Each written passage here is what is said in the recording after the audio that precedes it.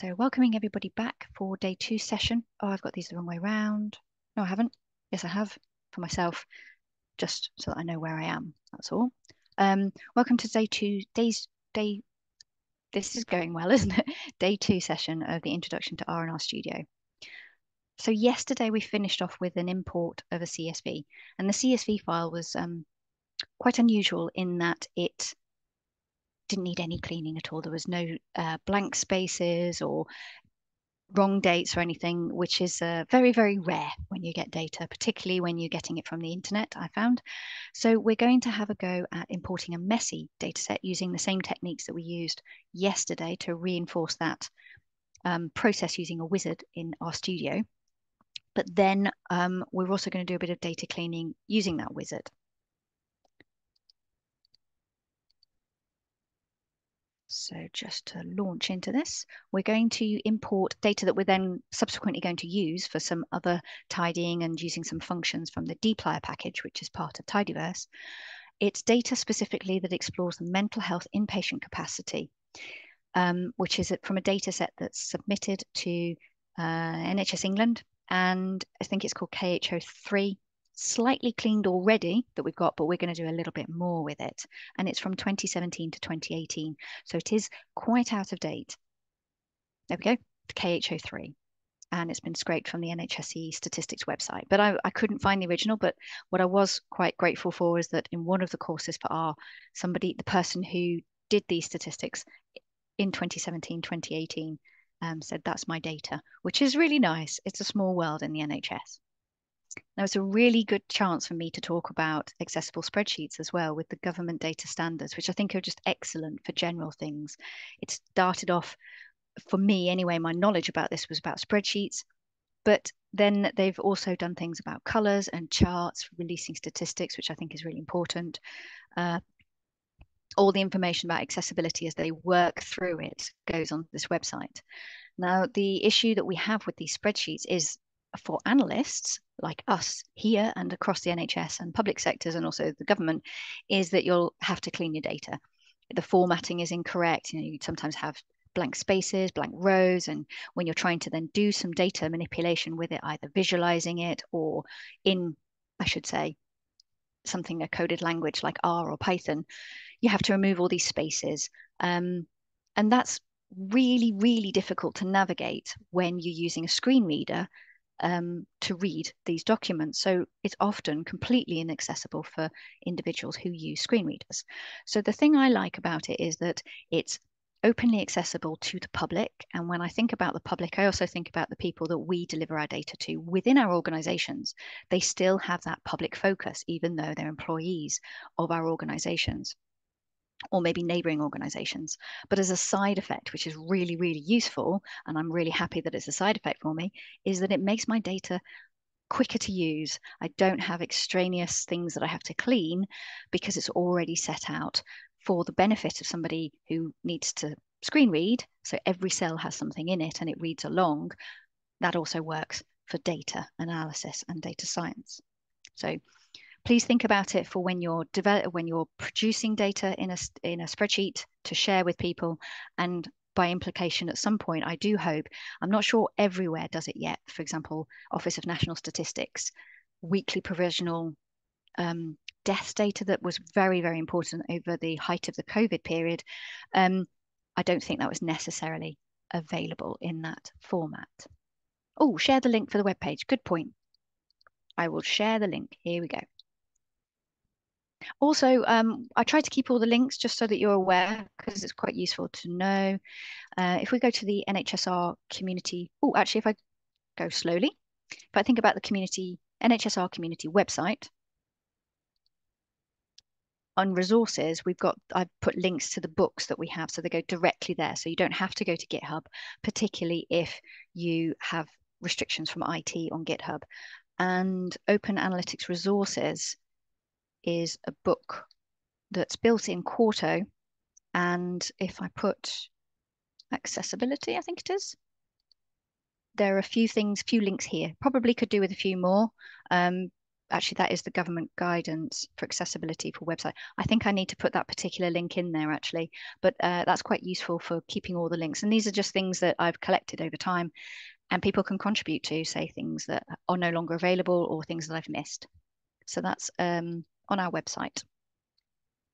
And I will share that. But it is brilliant. Brilliant work that they're doing.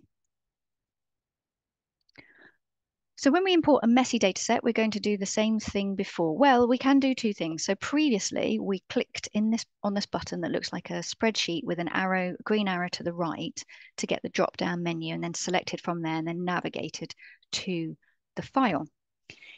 To save the navigation to the file, which is a step that's not actually necessary, we can just click on the file that we require in the Files tab. So this is useful if you've got a project set up and you can see all the files that you're going to use in that um, folder. So beds underscore data.csv, if you click on that one, you get a two option thing. The view file opens up a, a tab in the space. I've had to set up my new uh, my cloud space completely afresh because I was trying to work out what the problem was yesterday. So it doesn't look like we had yesterday with things like Quarto or anything set up. So that's why I've just got these three panes again. So if I did the view file, you can see it in its raw CSV format, which isn't particularly helpful. But if we click on beds underscore data and select the second option, which is the import dataset dot dot dot wizard again, but this time it knows the file that we require. So we don't need that step, which is good. Now on my screen, it's a bit squashed because um, I'm using half a screen. Actually, I need to change my settings as well. I forgot about that. But um, this bit you can't quite see either. Let me see if I make this bigger. What we can see is a data preview and that the column headers are taking metadata at the top. So this is what I mean about being accessible. So if a person can see this, they can go to the bit that they want to, but if they're using a screen reader, they have to go through each section and it, it is quite meaningless when you get to dot, dot, dot three, dot, dot, dot four. So the thing about R when you import data and data frames is that it doesn't allow for um, column names that are repeated and it doesn't allow for null values. These are missing values, so it puts in something just to make it clearer. So we're getting source metadata in the top few rows, and what we're looking for is line three, which has the column headers that we require. So you may have done this before, importing data, maybe into say SQL SSMS, or maybe even into Excel from something else like CSV files. You can skip the rows. So you type in three in skip and then press return or tab or click off the into a different page and it updates both the preview so it moves all your files all your data up and it also updates the code for you which you can if just to remind you you can copy and paste individual lines or you can use this notepad icon to copy all three lines so the other thing before we finish in this import dataset you can also do import. Date is uh, that's the metadata. Did that bit is we have to be careful about dates. And to be fair, dates are usually a problem in all manner of um, data software. So I can see behind me, and I was wondering what was behind me, and it's the road. Sorry, I got distracted by the road. Um, yes, so dates can usually get catch us out, particularly because we use UK formats uh, with UK data, and software is built using US formats, which is what's happening in this case. So our data is coming in with this format of a quarter date. So it's usually the beginning of the month, so the 1st of the 9th, 2013. And I suspect at some point there's a date that isn't a real date if you think of it in a US date format. So it's overwriting it and making it a character. So if data cannot be automatically assessed as being, say, double or integer or number or date, it goes to character or text or string, they're also known as. If you click on the box where it says date, um, you get a drop down menu and you can select what format you want it to be. And we want a date. So I'm going to pause here just to make sure that everybody gets this particular bit because we're going to use dates later. And if we don't change the format, we can change, it's not going to work necessarily how we're working and uh, going to use these dates. So this date string is saying, what do we want? What is the data? Sorry, not what do we want it to be? What do the date formats look like? And at the moment, it's defaulting to US month, day, year. And we need to swap that round to the UK date format, which is day, month, year. So I'm telling it, this is what the data looks like. When I click OK, we get a lot of code in the bottom. So there's a lot of information down there, which we can just copy and put into our code scripts. And the date format changes in the preview to the universal date format. It says it's a date type, but also it's year, month, and day. So it's unambiguous now. And you may find if you work with SQL servers that your dates are stored in that, so they're unambiguous. And if there's a different date that comes in accidentally that's a US date format that can't fit our date, it throws it out because it doesn't recognize it as a date. I have been asked, and I think this was a really great question, how do I make this look like what I see in Excel or Power BI or maybe even Tableau or Qliks do the same where it's got the format that we're we got the data in originally. So I did ask my colleague uh, who does computer science and is a bit of a whiz with computers, and he said you can do it, you can change it, but you have to change your computer settings for it to be viewed in that format for you on the screen. But what we can do for outputs for other people is we can change the formats and we can make that any format we require. Like we could make September the word instead of the number. So my recommendation is not to change your computer settings. I don't actually know how to do that because I stopped at that point. Is become familiar with year, month, day format because that's unambiguous and it's the international universal date format as an analyst or data scientist or person working with data. But then when you think to, about reports, you have the, capacity and the capability to change those to more friendly, recognizable dates. Anyway, I will copy this line of code and cancel that. But because I deleted my, well, I just had a fresh fresh setup, I'm going to go to Quarto document dot dot dot and do my report. Oh, that's not right. It's a title. So make it proper. Put my name in. And I'm going to go right to the bottom. And because I haven't actually loaded tidyverse, so I did the forward slash and I'm going to press return in the visual mode of Quarto so that I get the first option is R code. I'm going to write li, oh, actually, I'm going to write library tidyverse, but I've just realized it won't be in here, but I'm going to paste my code in because I didn't have that. So if I run this, it won't Oh, it does have tidyverse. Oh, of course it will. Sorry, I took a copy. So all my settings from yesterday are not there, but I'll go to tools, global options, and just change my appearance. So it's a bit bigger on the text font and dark mode. Again, if that's still not useful for people, please do let me know if you can't view it very well. I'm going to change my settings so that the inline code here is removed and it just appears in the console. So that was in the cog and chunk output in console, remove output, yes. And also I want it in the preview pane. So when I render this, I need to save my file and I'm going to call it my report, but with no spaces. So it appears as my report.qmd, but I will get my folder because I didn't change my YAML. So this is all afresh. I might just change that though. Oh, it's interesting. What's going on here? Oh, I can't seem to get to the end of my editor options. I don't know what's going on there. That's very strange. Right, embed. Oh, my computer's gone a bit strange. Let's see if my inserts, no. Render. I'm just going to have to do F5, I think, to refresh the browser because it's gone a bit strange on the view. But now I've removed my folder by putting embed resources equals true. I'm just going to F5 my whole POSIT cloud because it's doing something strange with my cursor. I think that's a browser thing. Yeah, now it's gone back to normal. Right. So I have copied this code. I'll put this into the chat, but hopefully you have had a go of use, uh, using the wizard to import that by directly clicking on the file that you require and importing it. To view the data, there's a couple of options. So if I look at the environment, this is within your workspace as opposed to when you render it as a report.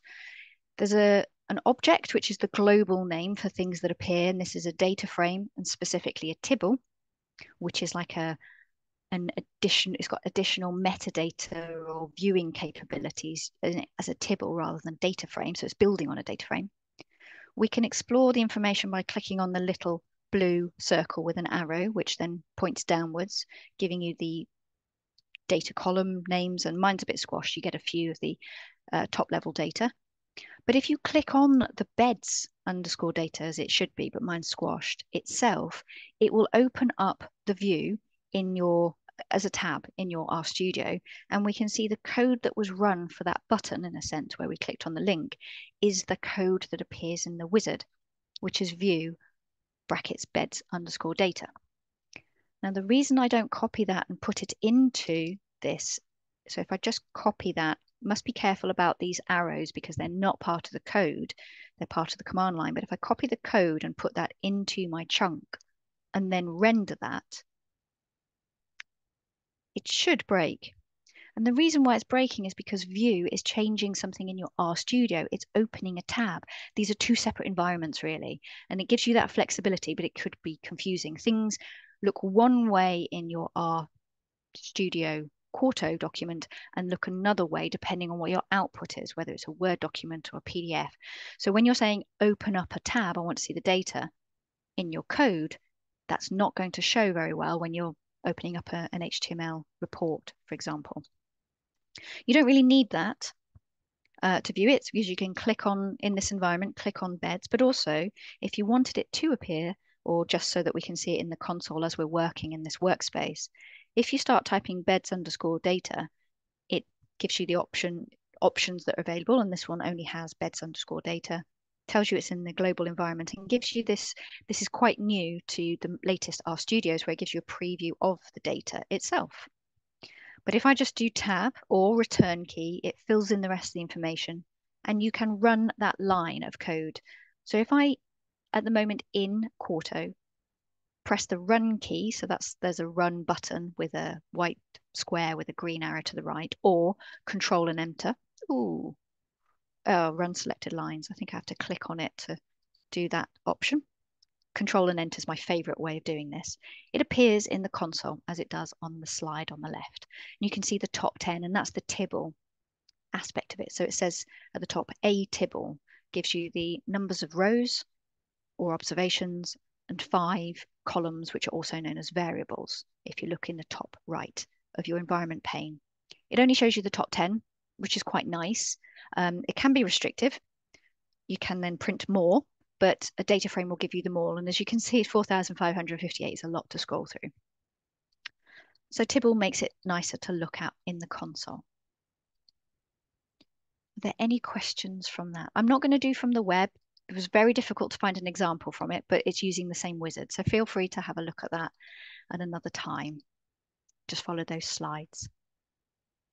So the next section we're going to launch into is now Sorry, we've got a quick question. Go for it. Go ahead. Um, so you said the view having the view thing um, breaks the execution of your Quarto document. If you wanted to, could you still keep it in there but comment it out and run it, and that would be fine? Yes, so you that's still fine. have your code the way you want it, but Yes. it doesn't break your Yes, that's one way around it. I never really use that code itself in my script because when I look at the data, that's that's something that I may or may not do. Um, so it's more of an act. So what I was saying bef- very early on yesterday was everything that's in RStudio has code behind it. So what they're doing is giving you the code in the wizard to load your package, which is readr, which we already had through Tidyverse, import your data, and then view it straight away. So it's giving you that code as a very new user, let's say, but as somebody who's producing a report or doing further analysis, you may be looking at your data maybe in the console or in the, so I don't keep that bit. That's a bit like save. I don't put uh, code for saving, for example. I just always save my files. Incidentally, because it's a Quarto document, we have automatically needed to save it to render it into something else, but it's the same shortcut oh, it looks like it's already been saved. Maybe I saved it automatically. You can save as. These are the same shortcut keys and the same functions that you could use or menus that you can use in Microsoft products as an example. So you just control save, but I don't write that as code, if that makes sense. So when I view my table, my data frame, I'm just using like a save function. I just look at it. But if you wanted it, you can add it in, that's fine. But comment it out, good point. So cleaning the data with dplyr, we did a little bit when we did the wizard. It says in this area what the column types are and the column format specifically for the dates having been changed to day, month and year and the skip information. But we might want to do some more work with it to put it into a position, um, a data format or um, I'm just trying to think of the words without using the actual words that I'm going to. In. So we need to sort of manipulate or shape our data depending on what we're going to do, whether that be statistics or visualizations. Um, and this is an image from Alison Horst to try and explain, I think, the word wrangling, which is used quite a lot in R terms. It might be used more widely in programming, I think, particularly for data. And this depiction is of dplyr as a friendly kind of green fluffy thing with the data being a bit unruly, which is kind of what our data is like, and trying to shape it and control it using this wrangling idea.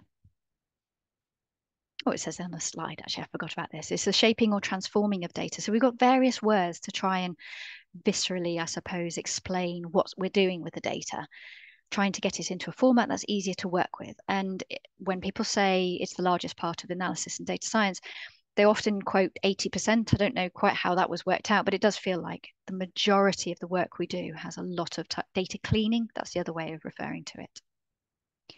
But what we're trying to often do is take our data that's set in a particular way and changing it for the way that the machines can operate. So there's kind of human readable and machine readable in my head, but they follow this process of a thing called tidy data, which was written by Hadley Wickham in a Journal of Statistics. He went into greater detail about what we mean by tidy data, that each variable is a column and each observation forms a row.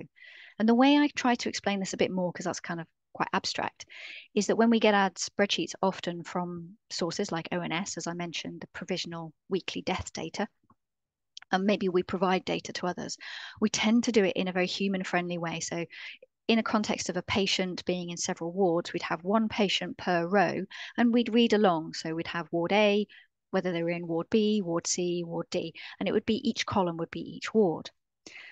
Now, that's not often how data is stored within SQL servers. That's how we often give data or read it as humans. The way we want it for machine readable, when we're going to use statistics or visualizations, is machine friendly long data. So the patient would be repeated depending on the um, on the ward that they're in, one column for the ward rather than several. And the patient A would be ward A, patient A, ward B, patient A, ward C is much harder to read as a human, but that's the format that we're looking for when we talk about tidy data, and then we can do stuff with that data. So people who come from SQL backgrounds or using SQL relational data often see that data in that format. I'd use data in that way without realizing it had a name. And I think what Hadley Wickham did was write it down and just point out, based on quite a lot of the SQL things that we do, um, he just put it down onto paper, which is great.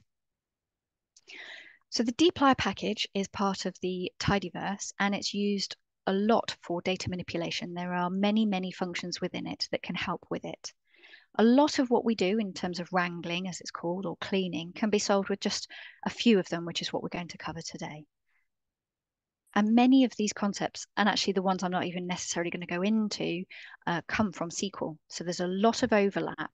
So what I do quite a lot, actually, I, I guess if you're learning another language, particularly a European language, you may say, think, well, what's this word in Latin or or does this sound like English when I try and translate it? It's a little bit like that between dplyr and SQL I found. So it's like lead and lag, for example. Do they exist in SQL? Yes, they, in SQL. I mean, do they exist in dplyr? Yes, they do. And so there's this overlap, often in the words and sometimes in the cons and quite often in the concepts. There are other packages that can extend it and there are other functions as well, but we're going to cover four here, and we're also going to add in a few other functions as we go along. A function is always denoted by round brackets at the end of a word with no spaces between them. Interestingly, I found that it doesn't break if you have that space, but it's good practice not to have spaces in your code. So we're going to look at some functions that may make sense when you look at them straight off. Arrange and filter. You could probably hazard a guess, as they say, as to what they will do. But we're also going to look at mutate and summarize, which may not be so clear, particularly when you first look at them. Mutate, for example, is a strange word. The dplyr package allows for US and UK spelling, and they do exactly the same thing. So summarize can be spelt with an S or a Z. And in ggplot2, if you write color, you can do that with a U or without, and it will do the same thing, which is really nice. It's very open for that.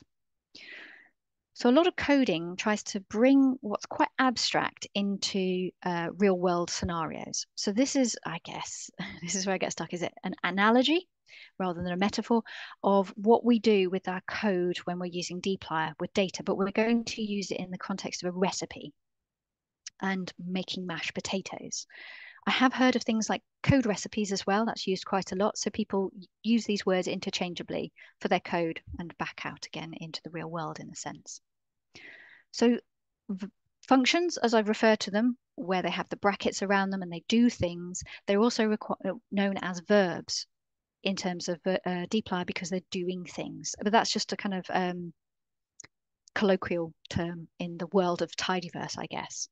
Often they're called functions, but they're known as verbs as well. Each step is a line of code in a recipe, and those steps can be repeated like in a recipe, um, but the order matters. And just to point out that when I was much, much younger, I tried to mash potato before boiling. And so order really matters both in the real world and in coding. So when we break this down, which is a recipe, just to go through it, potato, peeling it, slicing it, boiling it, mashing it, that's to my younger self. Unfortunately, I didn't know that at the time. Um, when we take this and try and sort of like make it look like code, what we would do is take the potato, which we would refer to as the object. That's the global name for a potato in this context, rather than data. And then we're using a little symbol, which I will explain because that has changed over time as well. Or there are two different symbols that we can use. The next action is to peel that action or verb or function. This is a function, peel, we've got brackets around it, and there's nothing else in there because we just peel. We don't peel faster or slow or higher, we just peel it. And we have functions that are like this, where they just have no other things written inside them. But with slice in this context, we do have something written inside.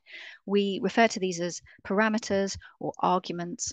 Um, and in this context with slice, we're looking at the size being medium. And medium is text, it's a string or uh, there's another word I've used for text. I've just forgotten what it is.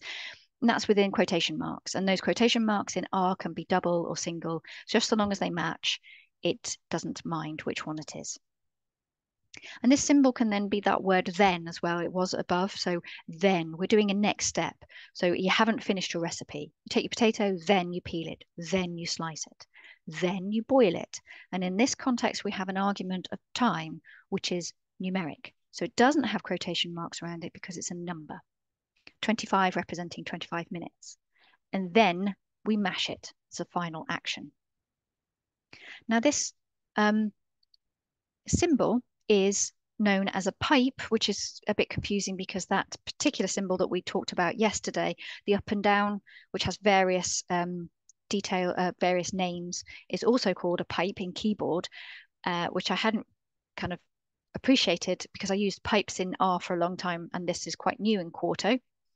But a pipe is a particular layout, so it's um, a percentage sign with an arrow to the right and a percentage sign. And it comes from a different package altogether from Tidyverse, but it's part of it. So as you load Tidyverse, you also get this thing called Magritte. Magritte is a play on the artist Magritte, who said this is not a pipe. And this is not a pipe. It's not a real pipe. So it's a play on that word. Now, the pipe can be brought no matter, I'll show you what it looks like differently now, but if you do Control, Shift, and M, you get this pipe, which has a percentage sign, arrow to the right, and percentage sign. But the new one, which is relatively new, I say new, um, probably about a year or so old. This is called base R pipe. So you no longer need to install a package to be able to get a pipe. So it does the same thing. It's the magrittr pipe is a little bit more powerful, but I think in the early stages, you're not necessarily going to require that powerness. It, it, the, they're both sufficient for what we're doing with analysis. So if you go to tools and global options, uh, does the pipe only work in the R script? It works in R, Quarto, it wherever you've loaded the packages. So it wouldn't work in a different language, but anything to do with R that's loaded, either Tidyverse or you load the package itself, magrittr, yes, it would work. I think if I haven't, yeah, do let me know if I have misunderstood your question though. So if we go to code, which is the second option, and it matches what we've got on the screen, and then go to four, one, fourth one down, use native pipe operator. So it requires a particular version, so 4.1 plus of the R program, not R Studio, to be able to do this. So if you go back to your own computers and you've already got R and R Studio loaded, but you can't see this option in R Studio or you've got an earlier version of R, you might not be able to use this but that's okay. You can still use the magrittr pipe. And when I now do Control, Shift, and M, I get just the pipe. And strangely, it includes a pipe itself and the arrow to the right. Now that doesn't need any loading of packages, as I say, so you could just open up an R script or a Quarto script and it will just work.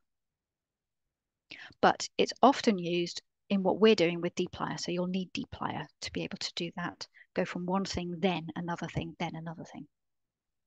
So we're going to use these in combination to solve or to explore some data questions. And the first one, they're quite long, they need to be broken down, is which organization provided the highest number of mental health beds?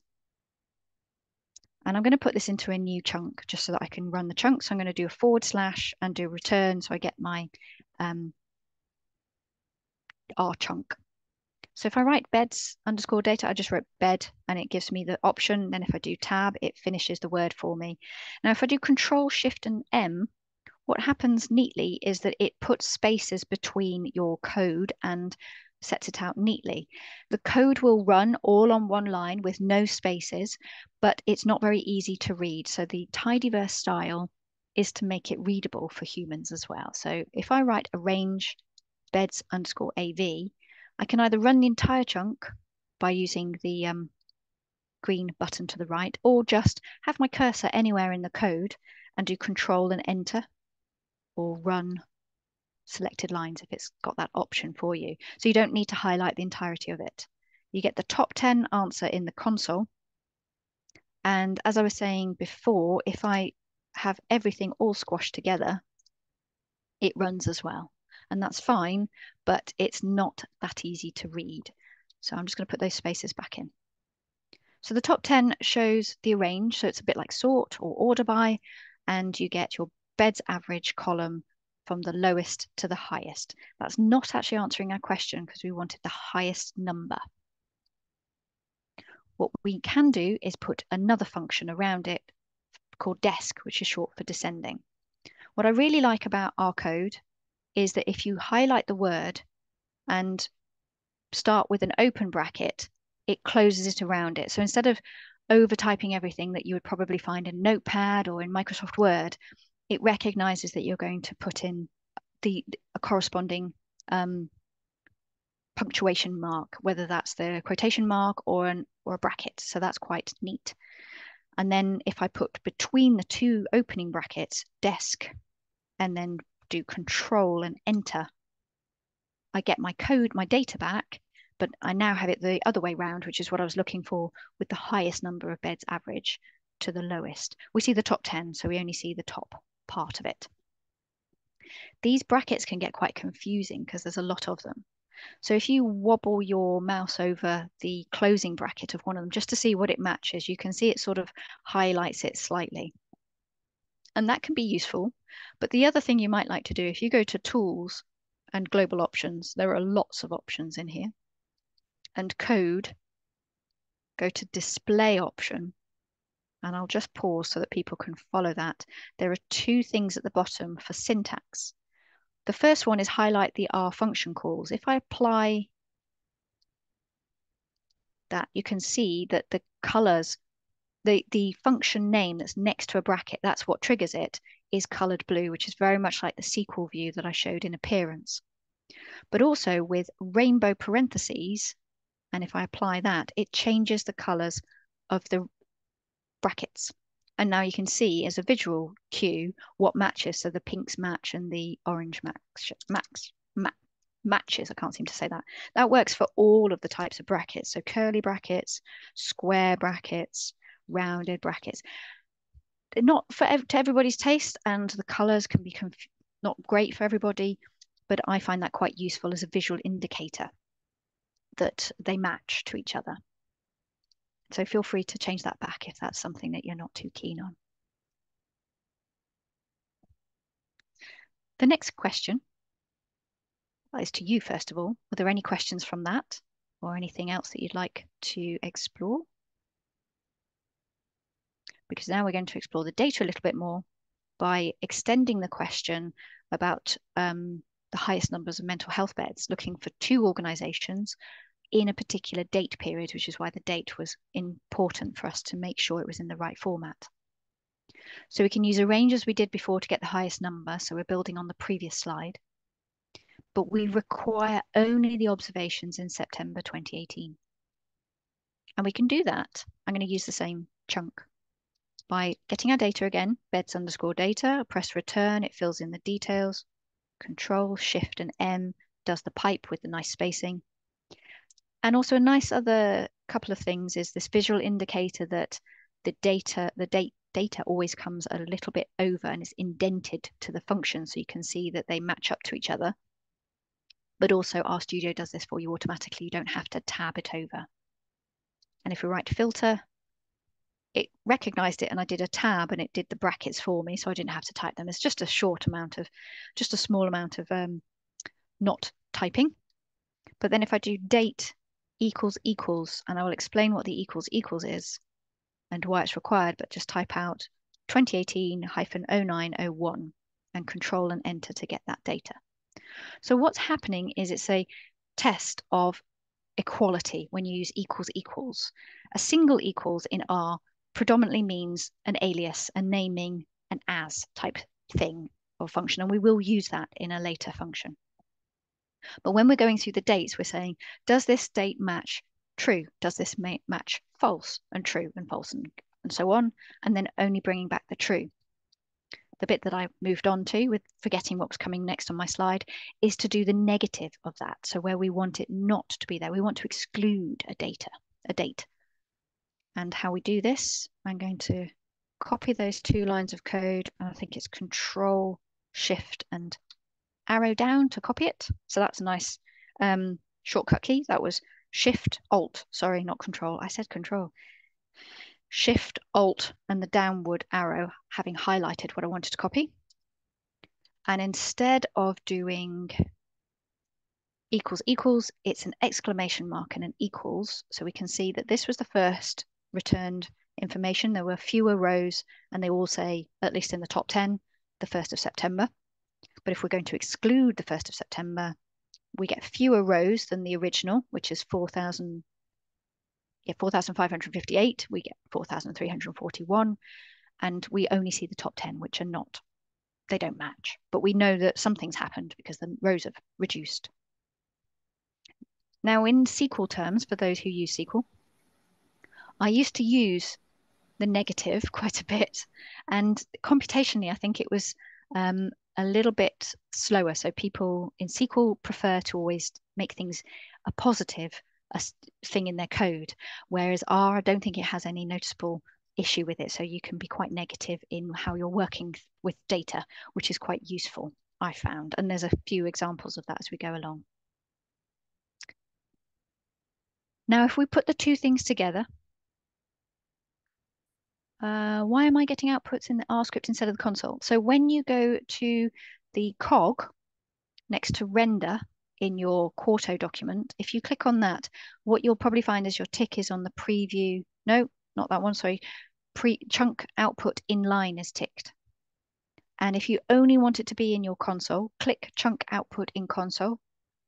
You'll get a message flash up to say, do you want to remove what you've already got in your report in line? And you can say yes, and it will remove those for you. I find it a bit distracting because they can get quite long. So I like it only to be in the console, but you, it's a personal preference, but it's in that cog. Let me know if that hasn't worked, or we can try and problem solve, or I was going to say, yeah, it's problem solve rather than debug. So what I'm going to do now is combine the two functions really that we've worked. One was sort, uh, filtering and one was ordering. If I write beds underscore data and tab, so it does the rest of the words for me, control, shift and M for Mike for the pipe, go on to the next line. Now this is a very small data set, so it doesn't really matter whether we arrange first and then filter, but computationally on say millions and millions of rows, we'd put filter first, but it doesn't necessarily matter logically in this context. So filter date equals equals 2018 09 01 and it's good to run it just to make sure that bit runs. So I've run this particular two lines of code and I'm getting just 2018 09 01 back. If I go to the end of that line and do control shift and M and my cursor's right next to the arrow again, but it gives you the spaces around it. And then type arrange. And we're going to do descending.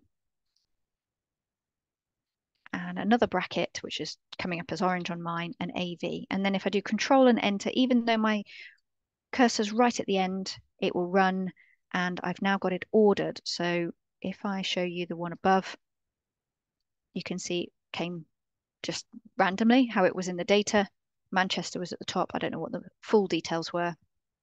And now it's East London and Nottingham that appear at the top in 2018 09 01 September. Can I just check that you're okay with the console? Juan, is that all right? Sorry, I've got something different in the console. I'm wondering if that's. Do you want to show me? Yeah, are you okay showing your screen? Oh, um, yeah, sure. Uh, Uh,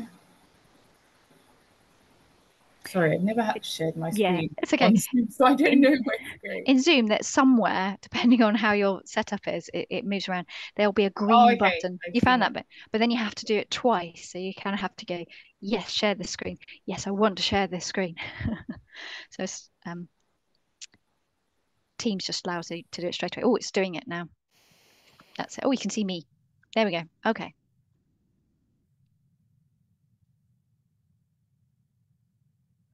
Okay, could you just repeat the action that you took then? To oh, that's me again. So if you just show me what you did, because you're quite right. The um the data showing really the the first bit. Yep. So what I I, th I think your code's right. So you run the first chunk above, so lines 59 to 60. I think that's what you're seeing in uh, no, that's not right, is it? That makes no sense. Oh. So your code that you've just run above it, I don't. Oh, it's because it's got not equals. So line 70 says not equal. So you're not getting 201809. It's running that code, but you need it to be equals equals.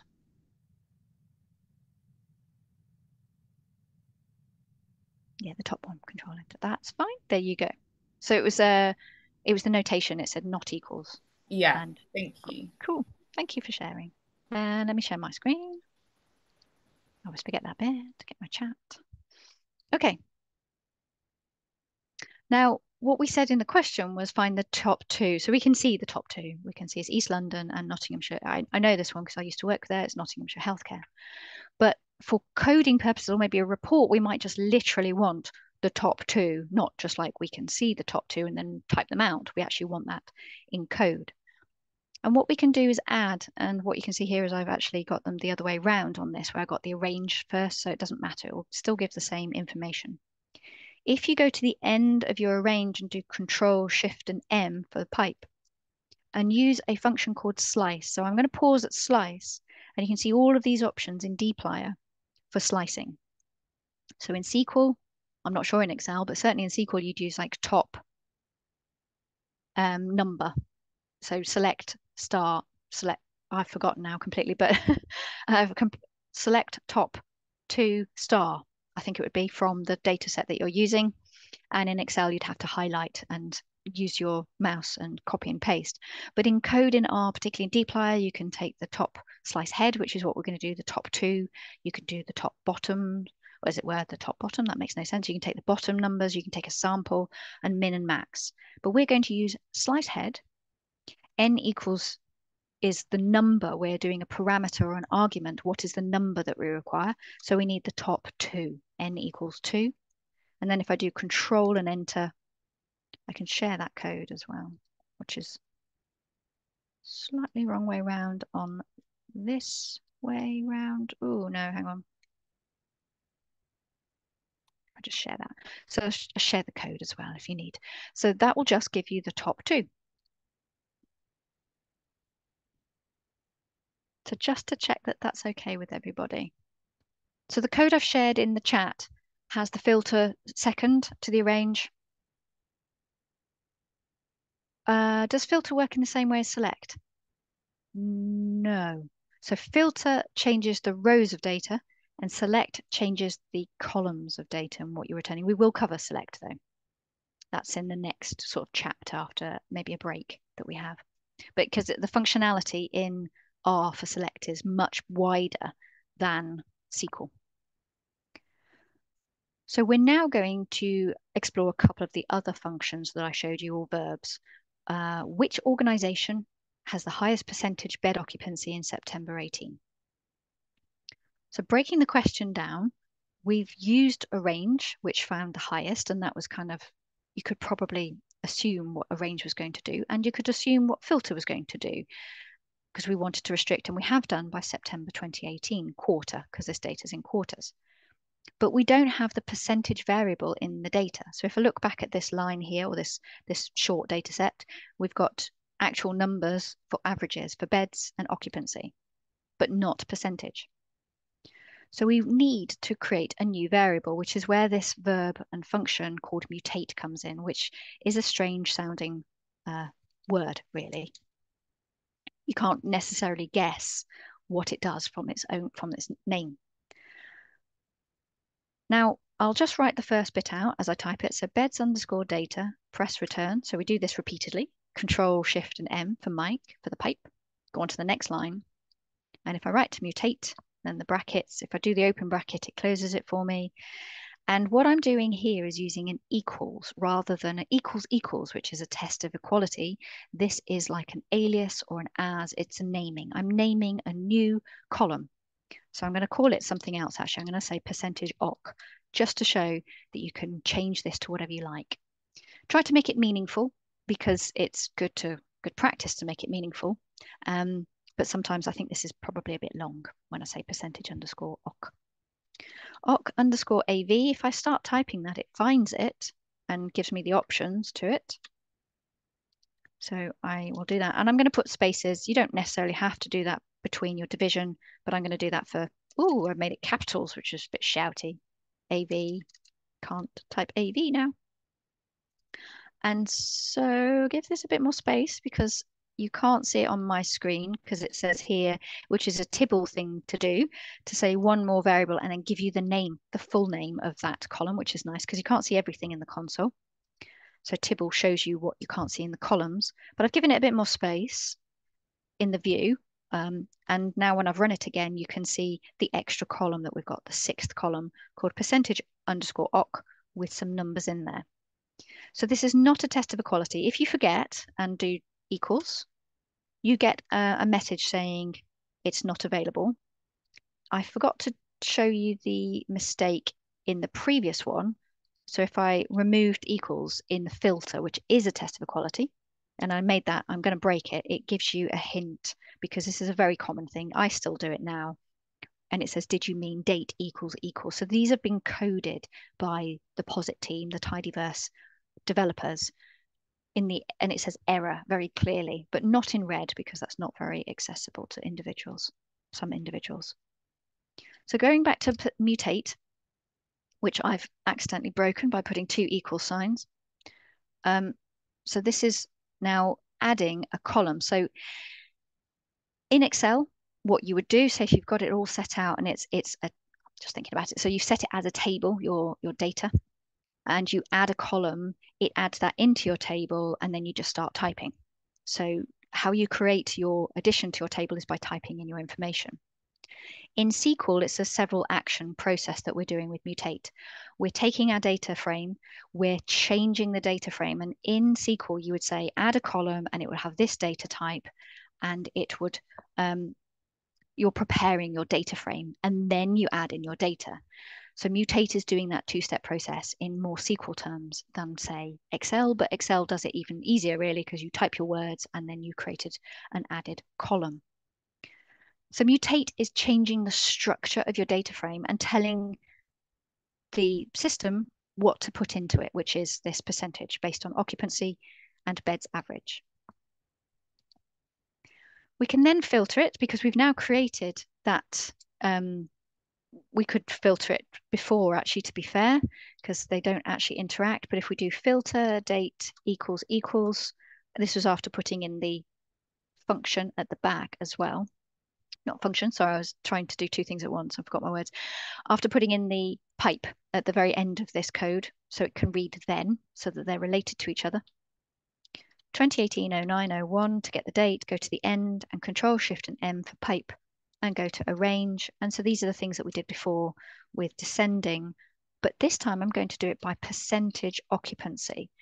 And as you can see, because I called it percentage occ, that's what I have to refer to because that's the new column that I'm arranging by. So I will share the code. Oh, it doesn't share it. Let's see if I can. There we go. That's interesting. Share that code with you from the slide.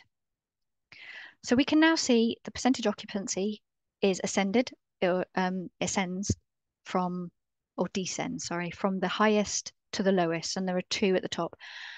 I taught this for many months. And then I started to realize how important it is to see the numbers behind your percentages. It was one of those things, it's so obvious when you see it, but I was seeing it repeatedly and I missed it. These are two distinctly different services. So Royal Free London, it was very easy to get to 100% occupancy because there were only two beds on average. But Oxleas had 384 beds. So to have 100% occupancy sort of shows a completely different service. So now I'm very reluctant to just put just percentages out there. I want to know what does that base on? Is it a percentage of a lot or is it a percentage of very little? And that can be really useful to have that knowledge alongside your percentages. It's one of those things that when you look at your data repeatedly, things come out of it, even years later. So what was the mean number of beds for the data set? We're going to go into a different question. And we're going to look at the very last function that we suggested we'll go through, which is a summary statistic.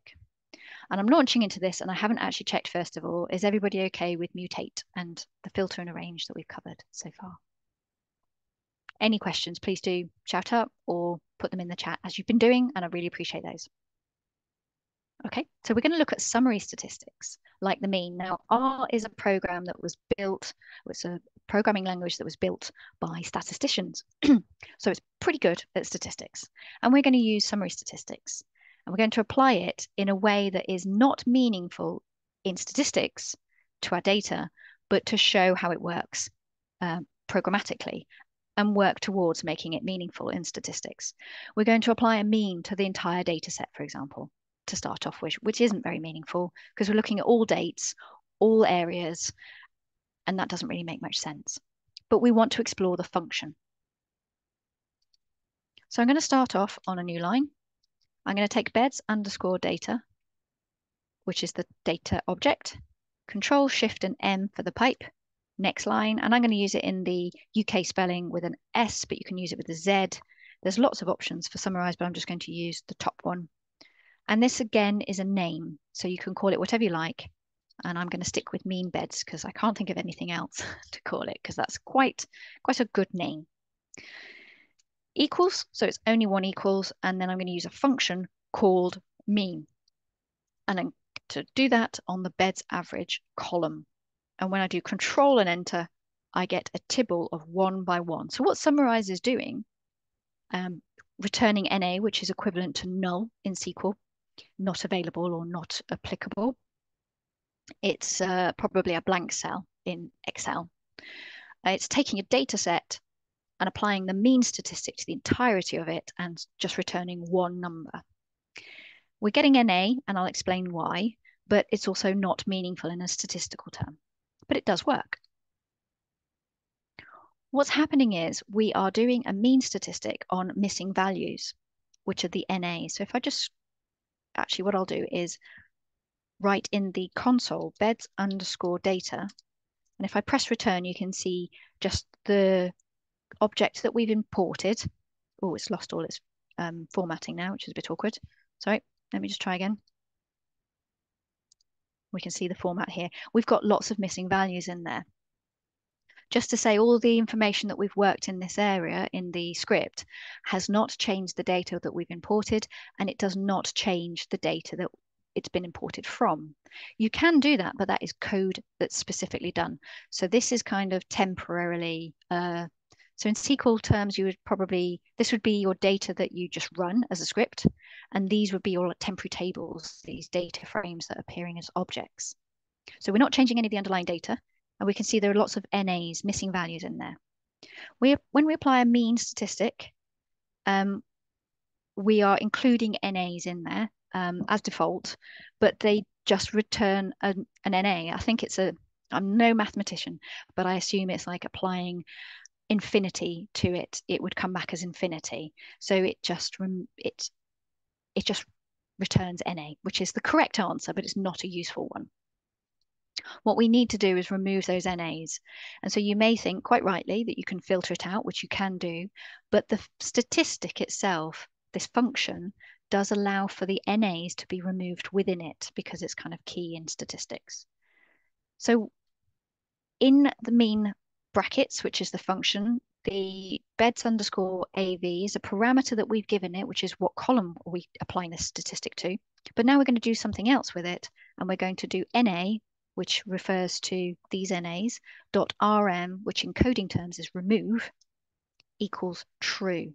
You can just do T. As you can see, it changes to orange in my color coding, but you can write true out. I like writing it all out because it's clearer. And if I do control and enter, and copy that code for you to take as well. You can see we get a number back, which is correct, but it's not very meaningful. But we get 300 because what we've done is dropped all of the NAs and then applied it. What might happen is that people uh, feel that they could um, or should recode it to zero.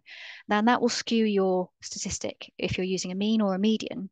So this is the better way, this is the correct way, I should say, not better, this is the correct way with statistics if you've got something like a, a categorical variable, as they call it, which is like a text, so you've got, say, gender or sex, and you're missing some values and you want to put in unknown, then there are functions to do that. And that's a reasonable thing to do. So think about your um, statistics separately to say categorical variables. I want you to have a go um, in your code. So what I'll do is I will ooh, copy out these into my own area and talk through them. Also give them to you so that you can take the skeletons of them. And what I want you to do is replace parts which would not work. So um, object, for example, needs to be corrected. What I would like you to do is instead of using the mean, which is what we've been using so far to get that number 300, to use the median. Give it a new name and find the column that you're looking for, and then not to forget the na.rm. And then what we're going to do is repeat that in a separate section using sum, which is another statistic. And that one's um, got two columns that we're going to create in it because we're going to sum both the beds AV and the OC AV. They're separated by a single comma so that you can add more statistics to your data. Bear in mind that it changes the whole structure of your data frame. So it squashes it down to that one statistic. So you lose all this other information, but you're not going to use that on this occasion. You're just going to have a practice of replacing the mean for a median and then replacing that for a sum in a different context. I'll give you 10 minutes of me not talking for you to have some space and be here if you have any questions.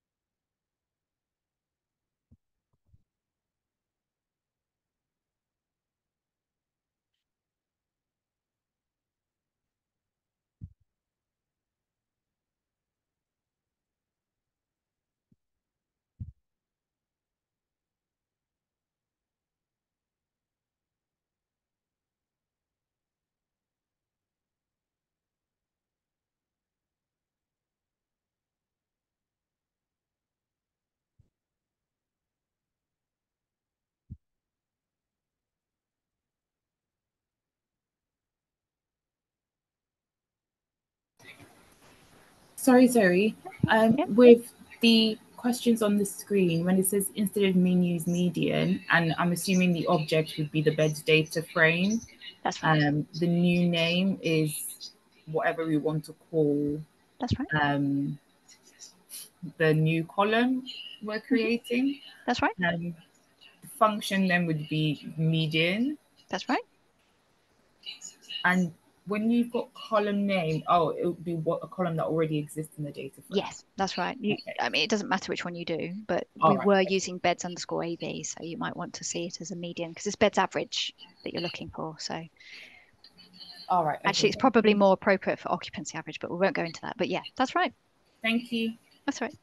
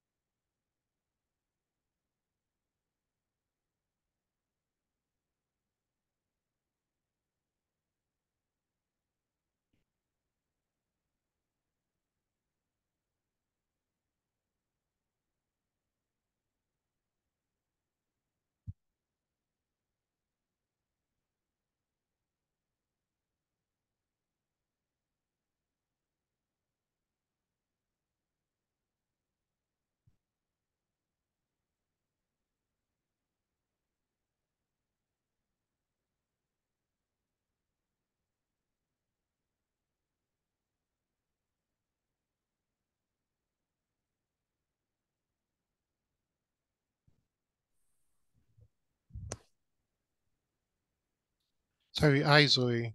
Hi. So I've got a query. So I've, I think I've updated the the code, but in terms of the two, I think we've put both of the codes into one chunk. Yes. But I was just trying to understand when you run the chunk, basically when I've run the chunk, it's only run the the second one, which was the sum. But I, am not sure how that works. I thought when you run the chunk, it's everything in the chunk Mm, that yeah. should run. So why is the median not actually coming up as well as the Do you mind sharing your screen? so unless I it's come up and I'm I'm not understanding it. One Yeah. second. Let's have a look. Uh yes, and I think that's the right one. Is that the right one? It's always a bit of a test of Zoom, isn't it? These things. Sorry, I don't know. Can you see the screen? No, Not sorry. yet. No, you might. Yep, it's coming. Actually, sorry, it's slow. Right, I can see it now. Okay, yes, so it is. So what's happened is uh, if you just look at your console, Yeah. you can see your output here at the bottom, the code above it relates to it. And that tibble that was one of one relates to the code above that. So Ah, it does okay. code, answer, code, answer. Okay, and so it's why it can- actually ran both of them, the first one and the second So it has worked. Yeah, Okay, okay. Okay, thanks. that's all right. Uh, how do you stop? I'll I'll take it. Okay. the screen share. There we go. I can take it back.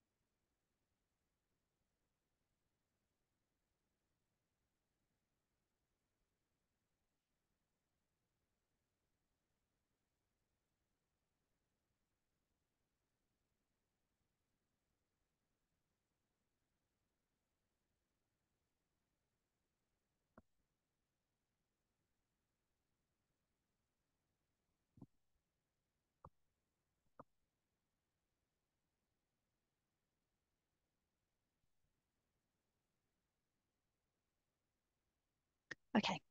I hope you had a chance to go through that. I'll, I'll just go through and answer the query and, and write it out as I go along just to explain it. Um, so don't worry if you haven't finished it. And also I can share with you the answers so that you can compare if something wasn't quite working in your section, if that was the case. So where it said object, quite rightly was pointed out, we need to put beds underscore data as their object. That's the only object we've got actually, or I've got, um, that we're going to be working with. The new name, before I called it mean beds, I'm going to call it median beds. And instead of the function name as a placeholder here, and instead of mean, I'm going to write median. The column name I'm just copying above actually, to be fair. Uh, beds underscore AV is the column I was looking at. Now, I paused when I was talking earlier about it. I can't do underscore. Because in mental health terms, median is really important, more so for things like length of stay. But it's kind of overlooked because if you're in mental health services in the hospitals, quite a lot of people are only in for a short amount of time, and there are people who are in for a very, very long period of time, probably more so than or longer than, say, accident and emergency or admissions through um, emergency departments. So the median is much more appropriate for length of stay. Beds average, maybe not, um, but it was just to practice it. I put in a bracket and actually that's going to break it. It needs to be a comma that's in this. That was an accident on my part. And I don't know how I did that, but no brackets because the closing bracket needs to be after the na.rm. I've actually deleted both my brackets there. I'm going to put true. Now, that cross has gone because all of those placeholders have been repeat, removed. And when I do that, you get the answer 241. So I'll put that code into the chat and let somebody in. Now, median is really simple to do in R. I've done it in um, SQL and I've also used it in a pivot table, I think, in Excel. So it is possible to do them, but because R is designed specifically for, for statistics, but then you, it can be used for lots of other things. It's very flexible. Median is very easy to do. I'm sure it's the same in Python. Beds underscore data is the object again that we're going to repeat. And instead of doing, well, I'm going to call column one um, beds total. And OC, I'm going to put OC total instead to match these column headers, these column names. The function name is sum for both of these. Sum. And again, I'm going to get rid of these true. You see there's only one bracket here to close off this. So if I put my mouse over the, the cursor over the uh, closing bracket, you can see it relates to the sum function. And the second sum function has a closed bracket, but the overall closed bracket occurs at the bottom here. If I bring it back up and then do another return, it automatically um, indents it correctly because it was right over to the left because the way I'd copied it actually from over here. Um, that doesn't matter where it is, it will work wherever you require it, but it's a section that will go through with code style just to make it readable or give you some visual cues that your code works. I haven't run it. I will run it and see we now get a tibble. So I've squashed the data set and these are actually more meaningful, I suppose. We've done two totals by the side, by each side, totals of beds and totals of occupancy. The tibble also nicely shows the lines and so the um, the hundreds. And when you get into the bigger numbers, the millions and hundred thousand million or whatever they go into, maybe millions even, billions. I don't know if we'd have billion data. That's a lot of data. It underlines so you can see it clearly in this console view. So that comes because it's a tibble. Were there any questions from those that particular exercise? That's great. People are working away, hopefully. I will try to make this more meaningful now in this section. So these numbers are all taking the whole data set and making one number and it works programmatically, but statistically doesn't really make sense. So we need to apply the statistic to groups of data or sets of data in mathematical terms. So we can do that by either the um, meaningfully either by the dates or by the organizations, that would make sense. And we know how to use summarize now to squash essentially the data set to give the number that we require. But we want to do it, in this case, it, it's even more meaningful by each value of date. What's the mean or the median of beds or occupancy for all of the organizations in the date quarter that we've got? Now, this has changed again quite recently.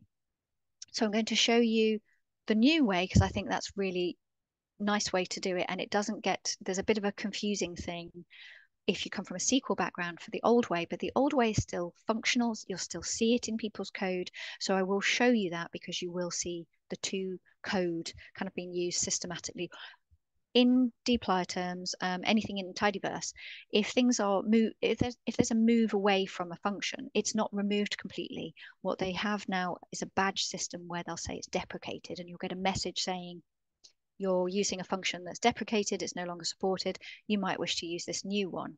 What we'll find where, where we're going through this with these group bys, temporarily or permanently, there is they'll probably stay there for a while and not be deprecated as such. There's a question, sorry. So the mean and the median, what is the argument that reports to you the number of valid? not NA values for estimations. Um, so it doesn't come from the mean. I'm not entirely sure what you're looking for for your mean and your median. So you're wanting to know what the number is. So if you've got a a data set of 10 numbers and only eight are part of your mean, you want to know your denominator is eight. Is that what you're asking? I can, yes, yeah. yes. Mm -hmm. Okay, that would be a separate thing that you would need to um, count, I think. You'd have to sort of count what numbers you've got left. So what you could do is, oh yeah, it's a good question. Um, I would have to filter the data to not NA and then count those or do a count function maybe of not NAs. Hang on, this is a good question. I think we might have um, total uh, number, let's say, count and beds and maybe. No, I'm doing the wrong function there. No, it's not a function that we do. Ah, I'd, I'd, I'd have to work that one out. I'll do that in the break because I think it's slightly different. With the mean and the median, you tend to just say this is the mean and the median, but it doesn't tell you necessarily. I'm not sure how meaningful that would be in statistics to say that we've actually dropped 50% of our data. That would be a separate thing that I'd be doing. I'd be saying there are 50% of this is missing values. So that's a different question, if you see what I mean. But I will look into it because there may be, there is a function called count, and I need to apply that somewhere to get that for you. But give me a second and I will do that in a break. So with that data, we've got these numbers, um, but we've got them as a total for everything or a mean of the entire data set, and we want to break them down by date. So if I take the beds underscore data, which is the object, control shift and M for the pipe, and summarize, which is the function, mean beds again, which you'll be familiar with, equals mean beds underscore AV, and we're removing the RMs equals true. So if I run that, you can see we get 300, which we recognize from previously. Before the end bracket, so this is part of the summarize pink bracket that I've got here, the summarize function. If I put in a comma, which means I'm going to add in a new argument or parameter, and use dot by equals date, and then do return, a control and return. What happens is we get the same returned information. I'll put that code into the chat, but it's now broken down by each quarter. So it goes through each section and goes, you know, 1st of September, apply the mean statistic there. 1st of December, do the same again and goes through all of the information there. So these are like buckets or sets or groups of data. So it applies the statistic along the situation. This dot by is also available in filter and also in slice functions, just so you know that it's in other functions. And the reason why it's a dot, which is unusual, particularly in tidyverse, and kind of in R, it's not used a lot. So we're using underscores rather than dots, which people may be familiar with, say names that we're using or object names as we've got here, is because in this context, dot by is because it doesn't want, they don't want to clash with columns that are sometimes called by. I've never called a column myself by, but I, they do this because it's the likelihood is high that it could be misconstrued. So if we did by equals date, it could get mixed up between by as a column and by as the function argument. So the persistent grouping is a function in its own right using group by.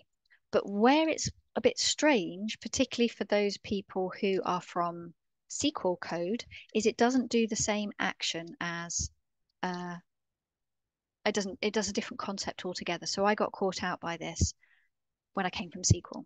So if I just write beds underscore data, group by date, and then we'll look at the data, I'll just put that code into the chat.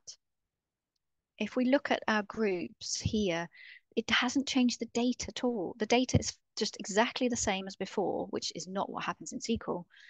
And all it says is groups by date. So it's preparing the data set in these groups. So anything that comes afterwards will be applied to those groups, which is why it's been renamed as persistent grouping. The issue that can arise from this is that you need to then ungroup sometimes because depending on what you've done to your data, um, depends on whether that grouping has been removed. And that's where I got caught out. So my group, my data was all grouped. I did a few things and then it still did some strange things later because you need to then put ungroup onto it. You will see group by and ungroup in code. You'll see it in some of the things online for help. You'll also see um, it in other people's code, I'm sure. And it's just known as persistent grouping now. It can be useful, so I don't think it will be going anywhere. It's just that I find the temporary much easier to sort of explain, particularly to SQL users. A really important question now. Um, it is actually kind of break time. It's coming up to 11. So would you like the 10 minute break now?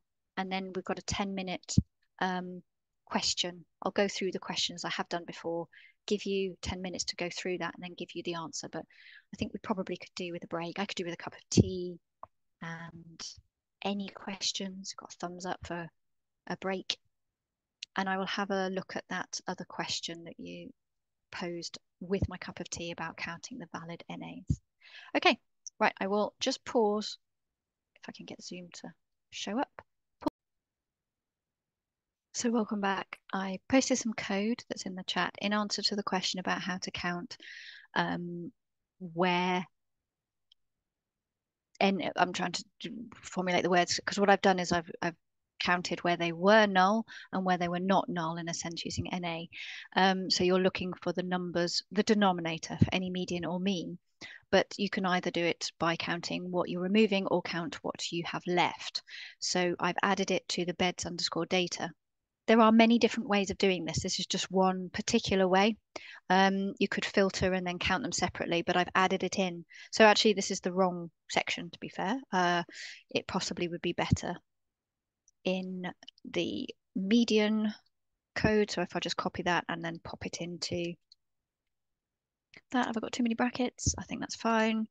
And so I've got my median beds and now I've got numbers for what isn't an NA, NA, so the 241 is based on 1,373 um, data points. And what is, there's a lot of NAs actually. It's a very good question because that's that's a lot of your data set is actually missing a value. Uh, but that's the entire data set that we were looking at. So a great question, lots of different ways of answering it. And I just thought I would share that with you. Thank you for that. And what you didn't see, because I was doing it in the chat, was did a bit of a quick search. I looked at the count function, realized that's not actually very useful, and then went to Stack Overflow, which I will go through in one of the later slide decks to explain how to do some um, searching for things, because that's part of coding. It's not knowing everything, it's about knowing where to find the information. Oops. Oh, where am I doing? going, going to a link. So now we're going to tackle, after getting a cup of tea and a bit of a break, a big question. I'll go through this, I'll break it down, and then give you some time and space to work through it. Um, we're going to look finally at which organizations have the highest mean percentage bed occupancy. There's a lot in this question. Train the trainer, it's brilliant. Um, and I'm going to summarize using the sum for the total beds and the total occupancy, which we have done already. And just to note as well that we were doing this uh, we have done this exercise for a number of months, a number of years actually, for NHS-R community.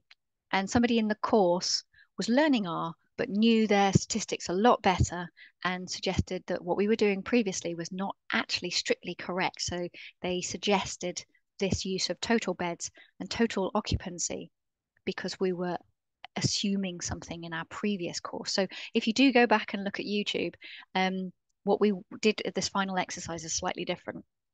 So in terms of train the trainer, always learning. Nobody has ever finished their learning. I think even Hadley Wickham, who has written some books on some stuff, is still learning because things are always changing. Right, so we're going to do the total beds and total occupancy, which we did before in a previous exercise. We're going to group those, but by organizations this time, not by dates, but by organizations. And there are two columns in the data. If we do, if I highlight beds underscore data and just run that code, control and enter, you can see we've got org code and org name. And you, I suggest using the dot by function, uh, sorry, parameter within the summarize function. But if you have seen and want to practice group by, there's an answer for that um, separately if you'd like to try using the group by verb function and then ungroup afterwards if you wanted to do that. And we're going to mutate. So we're going to create, summarize. So we're going to squash our data set to two statistics. And we're going to expand within that to each date.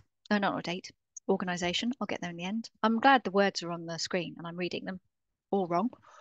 And then we're going to change and mutate that new data frame to have a new column, which will have the percentage based on the total of occupancy in beds. So that'll be occupancy divided by beds. And then arrange it at the very end. Let me just see, that's the solution. Quick stop. So uh, the solution is on that. So if you can, if you want the slides, you can look for the solution. I'll just give you the slides. That's fine. I'll give you 10 minutes to work through that.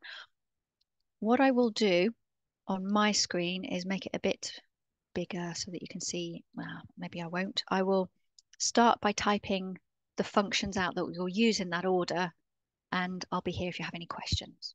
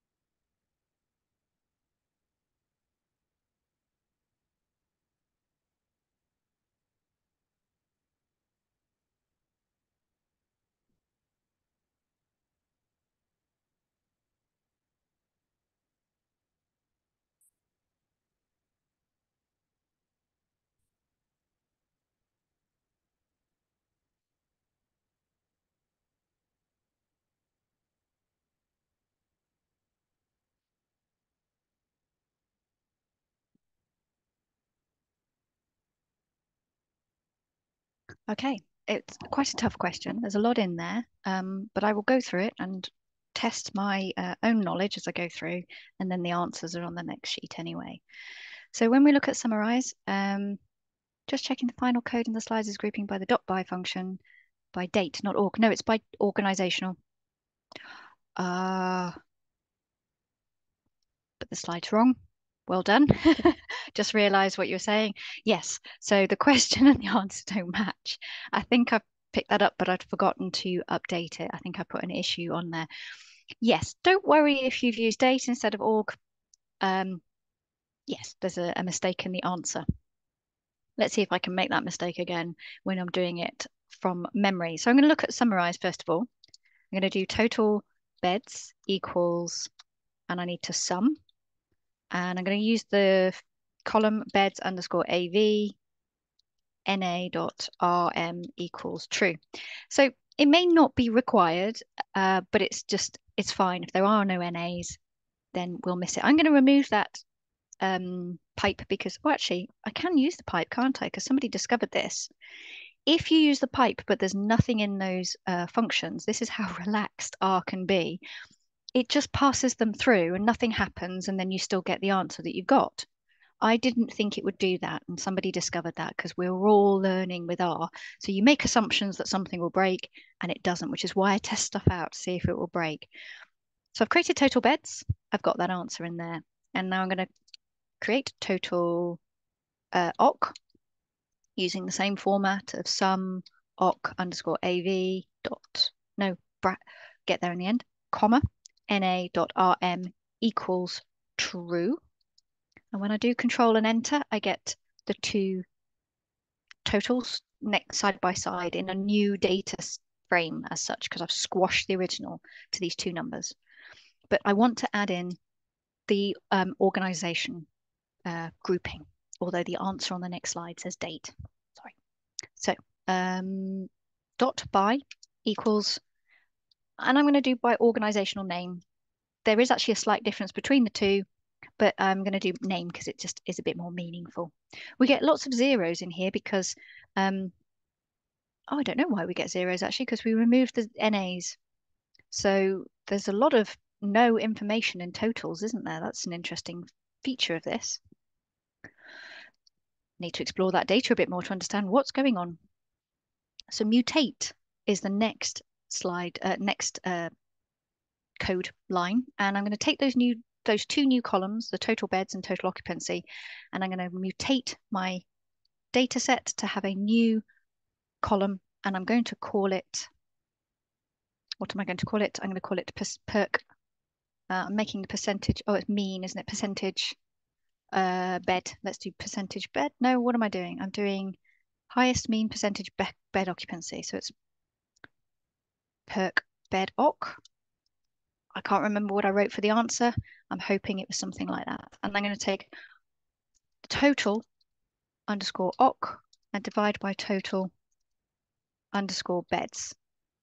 As I gave myself a little clue and also you, I hope, uh, to do this oc underscore beds. And if you did get to this bit, doing it line by line and running it, which is good practice, I forgot to mention it, so well done if you did do that you will see NaN as opposed to Na. So now we've got not a number. I think if you take a zero divided by a zero, you get infinity and it says not a number. So that's what NaN, which is equivalent in sort of statistical terms, I suppose, as to Na, but it is very precise in R what that data type is. I think in SQL, it'll just say null. And then I'm going to arrange by the percentage bed occupancy, but I'm going to do it in descending order because I want the highest. So I want perk bed oc, and it finds it actually as the top option in italics. Control and enter to run it. And I get Barnet Enfield and Haringey if you've used the names, and Bradford District Care Trust as the two highest. So you were quite right, this is wrong. Um, it really should be org name or org code. And so how did I get on? I did, I called it bed oc. So I, I changed the name a little bit longer, made it a bit longer, but I did everything else the same. Now the group by function, I should click on the words, has a group by function. Sorry about the highlight. I need to change my highlight color. I haven't worked out how to do that yet.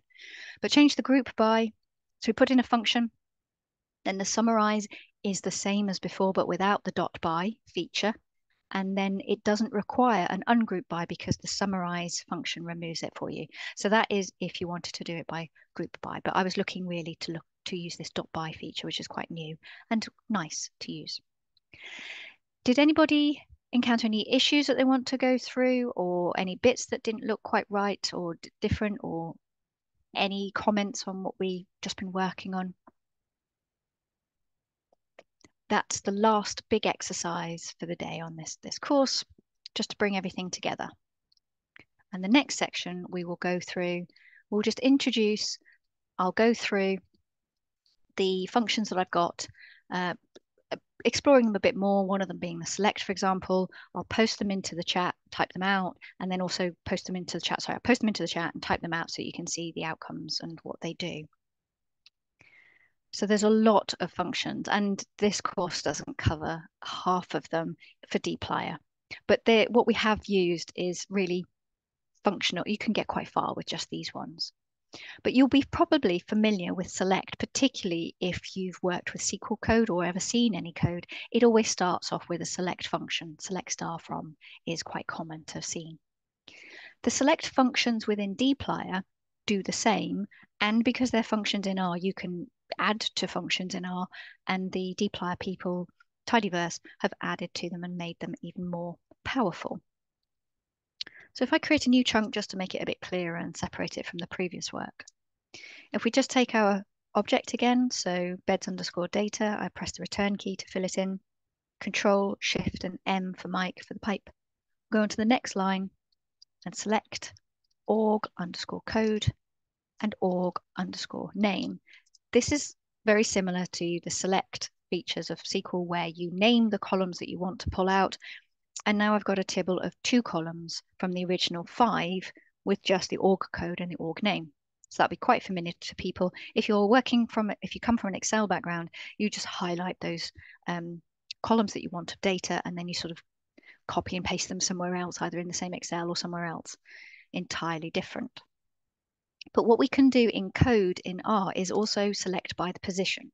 So just to remind you what the beds data looks like, just writing out the object name and then doing control and enter on that line, you can see we've got date, org code, and org name. But instead of writing them out, if you had something, and the example would be, say, you get a, a spreadsheet regularly and somebody updates the date in a column. It's always the same column, but they update the date to each month or week that you get that data.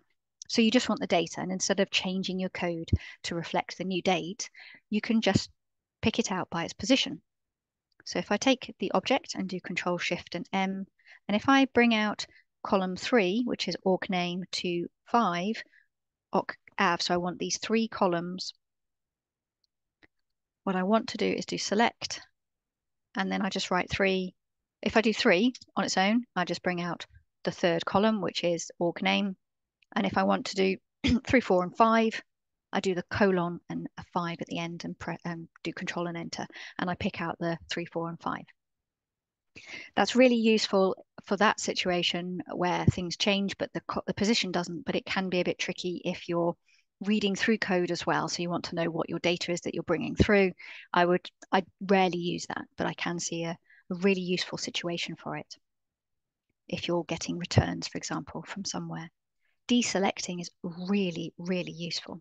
So unlike SQL, where you'd have to name every column that you've got, and sometimes tables can be quite long, you can have like 20, 30 columns, and you might just want to drop one or two because they've got information in it, for example, that's based on the SQL database and it's not really necessary for the data. What we can do in R, which I don't think you can do in SQL, I'd be really pleased to hear that you could do this, is deselect. So a minus in front of org code instead of having all five columns now brings it back with the org code removed. I haven't been sharing it, sorry. I've just remembered. So I've copied the code and I will pop it into the chat and deselecting. Sorry, sorry. Yeah. Um, just going back to selecting column by position. Yep. Where you've got um, select three to five. Is that saying selecting row three to five? No, columns. Columns. Select is always about columns.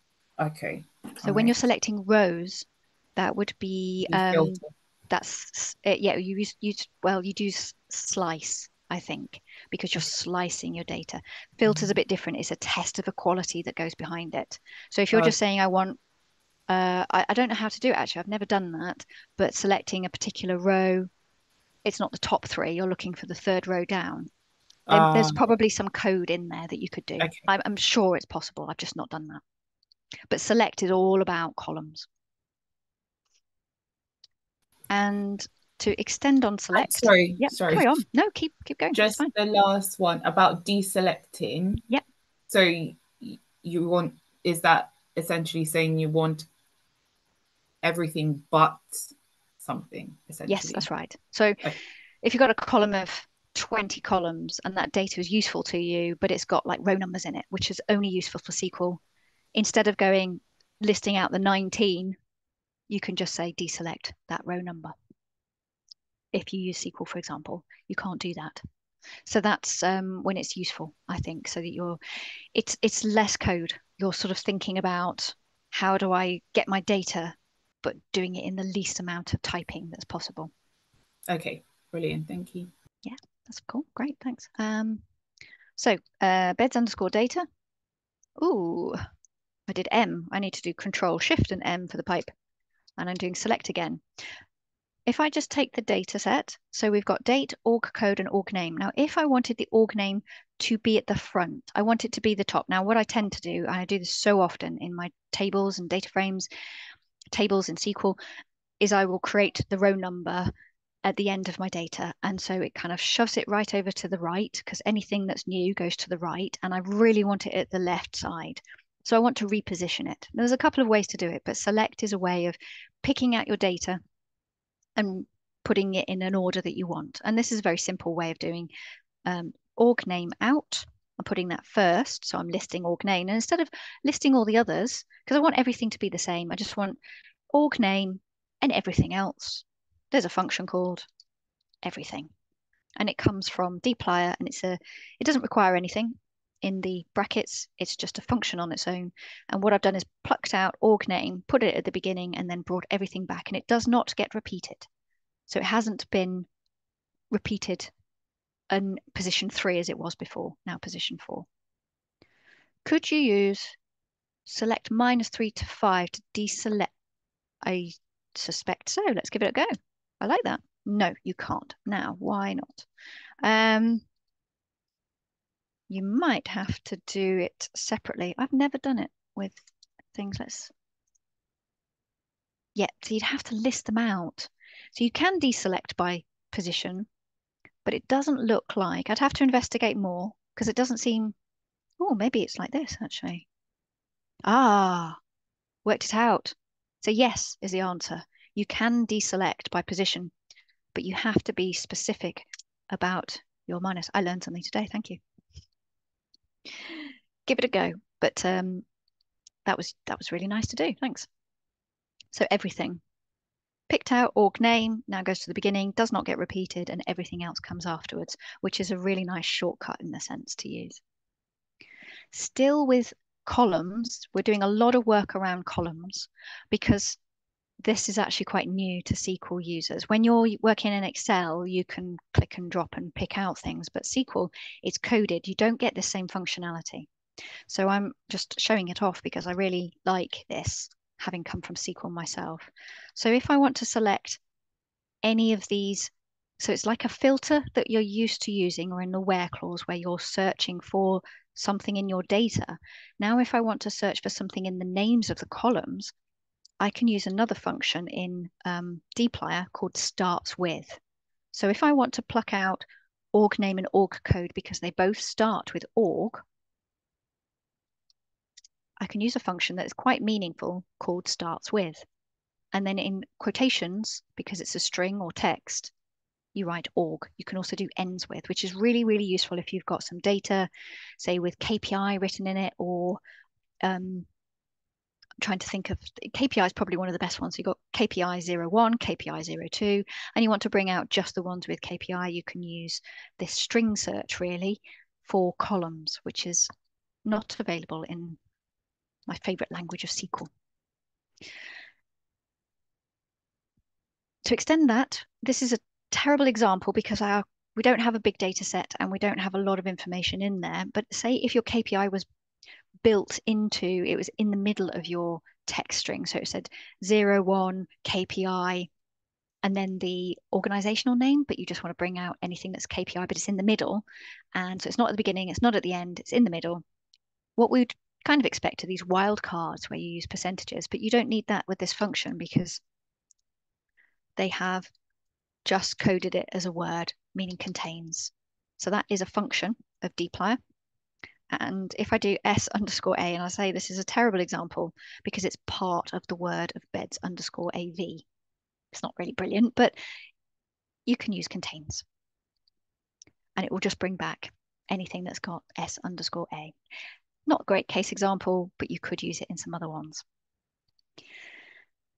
Now, this is an extension of what we've been working with before because before we corrected the statistical exercise that you went through with the mean and the median and the totals and the percentage totals, the totals and the percentage occupancy, we looked at the data and you got different answers depending on whether you looked at org name or org code. And from that, I discovered, as you do with analysis, that the data is not a one-to-one relationship between an org code and an org name.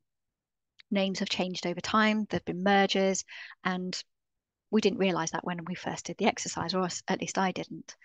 And it made me um, reflect on what I use in my code a lot, or certainly did when I was working with patient data, counting your information and also counting distinct information. So if I just write this out, but explain it as I type, we're using the object again, Control Shift and M for pipe. Didn't share these ones before actually.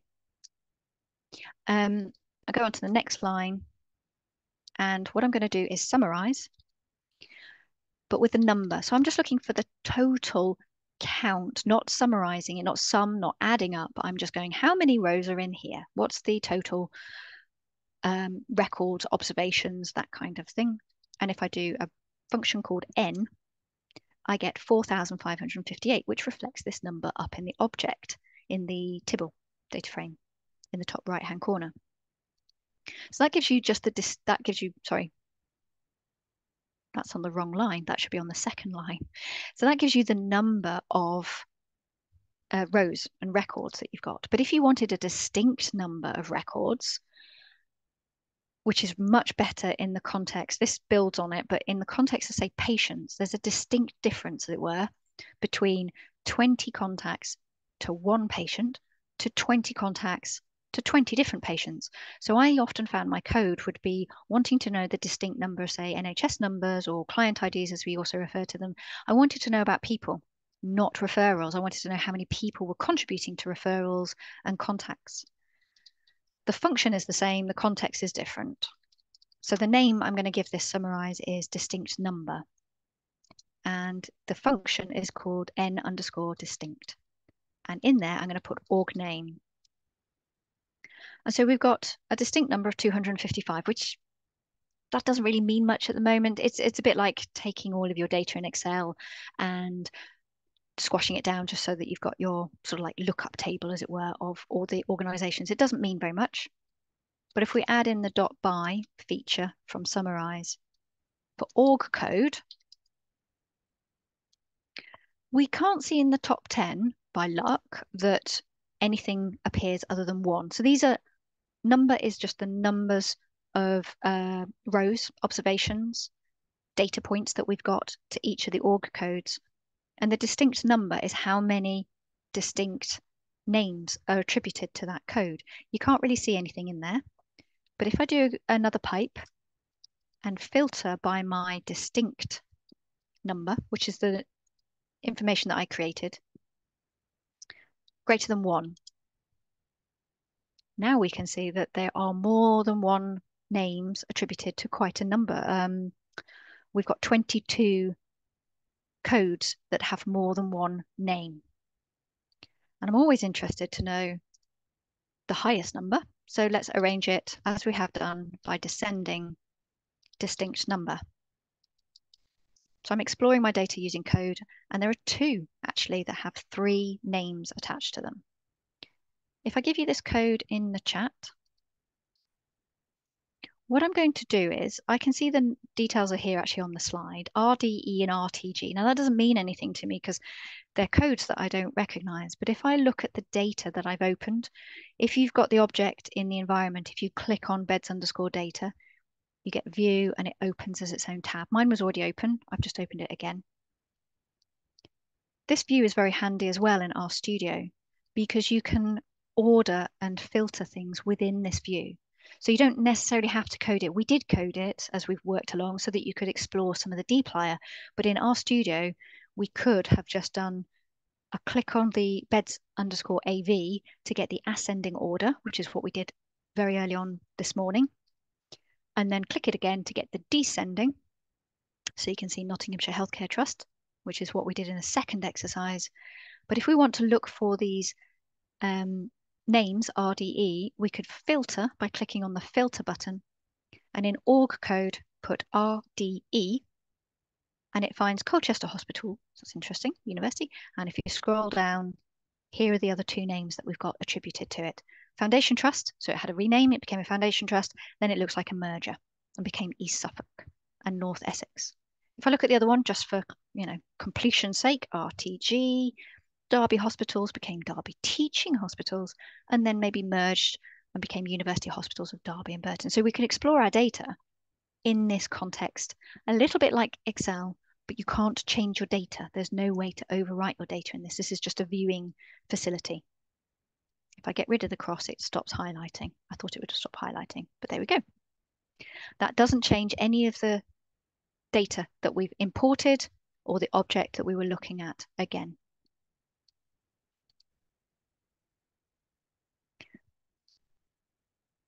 Right. Um, we've had a break actually. So what we're going to do now is look at making an object because what we've done before is import our data. So it became an object using readr. But we might wish to keep some of our data that we've created here, some of these more complex bits of code to create new data sets, new data frames we might wish to use those sort of, sort of like make them into a temporary table type concept from SQL, make it an object in this environment that then I can reuse elsewhere. How do you name your code chunks? So in Quarto, if you go up to your um, engine, which is the curly brackets with the R, go on to the next line and type hash and then the up and down pipe uh, thing next to the Z key and then label. Um, yes, I will show you the other one. So if I do select function, you can see the name appears in the chunk settings down here. So I've now called that select function. I'm going to control an S to save that because it hasn't saved for a while. How did you show the previous table? Uh, this one? Is this what you mean? Sorry, the previous table. Oh, the previous table. This um, tab. When you've imported your data, I've got beds underscore data in my environment. You might also have capacity underscore AE from yesterday.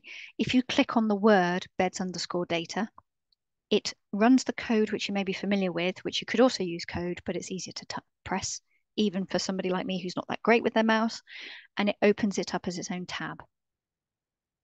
Is that what you were missing? Correct. You can filter you can order, but there's also a button here I forgot to show you. Uh, so it's great that you brought me back to it.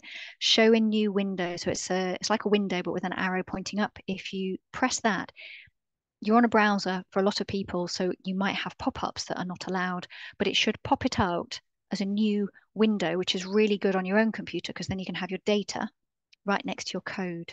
So it doesn't change it, I don't think, unless you rerun it you'd have to change your object and I think it, it's, so it's not dynamic because what we're doing here is completely distinct to what we're seeing on the left but it does mean that you've got that capacity to have it open next to your coding which is useful and a bit more data than just the top 10 oh one thing I forgot to do You pop it out. You can also pop it back in. I've just popped out my entire quarto. So if I want my entire quarto report to go back in, it's the same button, but the arrow pointing down between the save and the arrows. And I do want that back in there. So I always forget that you can do that. So some of our code we may wish to use again, and we may want, want to do some statistics on it, and we then may want to visualize it. And we don't want to repeat the same code. So if we were using this data set down here, for example, we wouldn't want to have that several lines of code from this line, this chunk in each of the sections that we're using. We want to make this to be available in the environment like we have the original data imported. And kind of explaining, and I've sort of done this already, which is this temporary status. This is code that just exists as you run it. So everything that we've run so far just exists for the moment that you run it. It's not available anywhere else in your RStudio. It doesn't change anything and it's not available to be used in anything else, any other analysis. And if you do make it into the environment, it's temporary still. It doesn't change the original data. And it's closer to a temporary table type concept as in SQL. I'll put this code into the chat. It's the things that we've been working on already. Uh, in fact, that one's correct because it says org name there. So that's interesting. So I corrected it on this sheet, but not the other one. Maybe that's why I missed it on the answer sheet. Um, and what we're going to do is put it in there. And if you run that code now, as it is, you'll get two objects now, well, more than one, starting with beds. You've got beds underscore occupancy and beds underscore data, which is the original code, the original data, sorry, that we imported. We've named it bed occupancy, which is this name here, and then used this strange symbol, which is an arrow to the left and a hyphen or um, a minus sign. Okay, do you want to show me your code on which bit? So you, sorry, are you, you getting an error on the code that I've just shared? Uh, sorry, it's the the previous one, not this one. Um, do you want to just put? Do you want to just put it in the chat, the one that okay. you're trying to run and getting an error, and maybe uh, I could work out what we're doing from that. Um, it's seeing the filter, error in filter.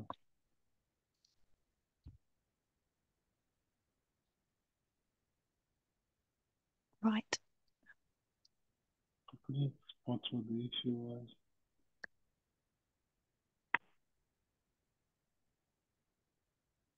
Ah, oh. Code. Distinct number.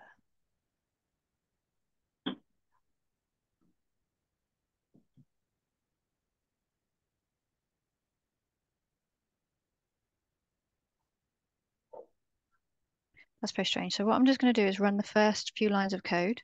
Okay. And that runs. And I run the filter. And that doesn't run. So this distinct number. Oh, there we go. It's missing a U in oh. the first one.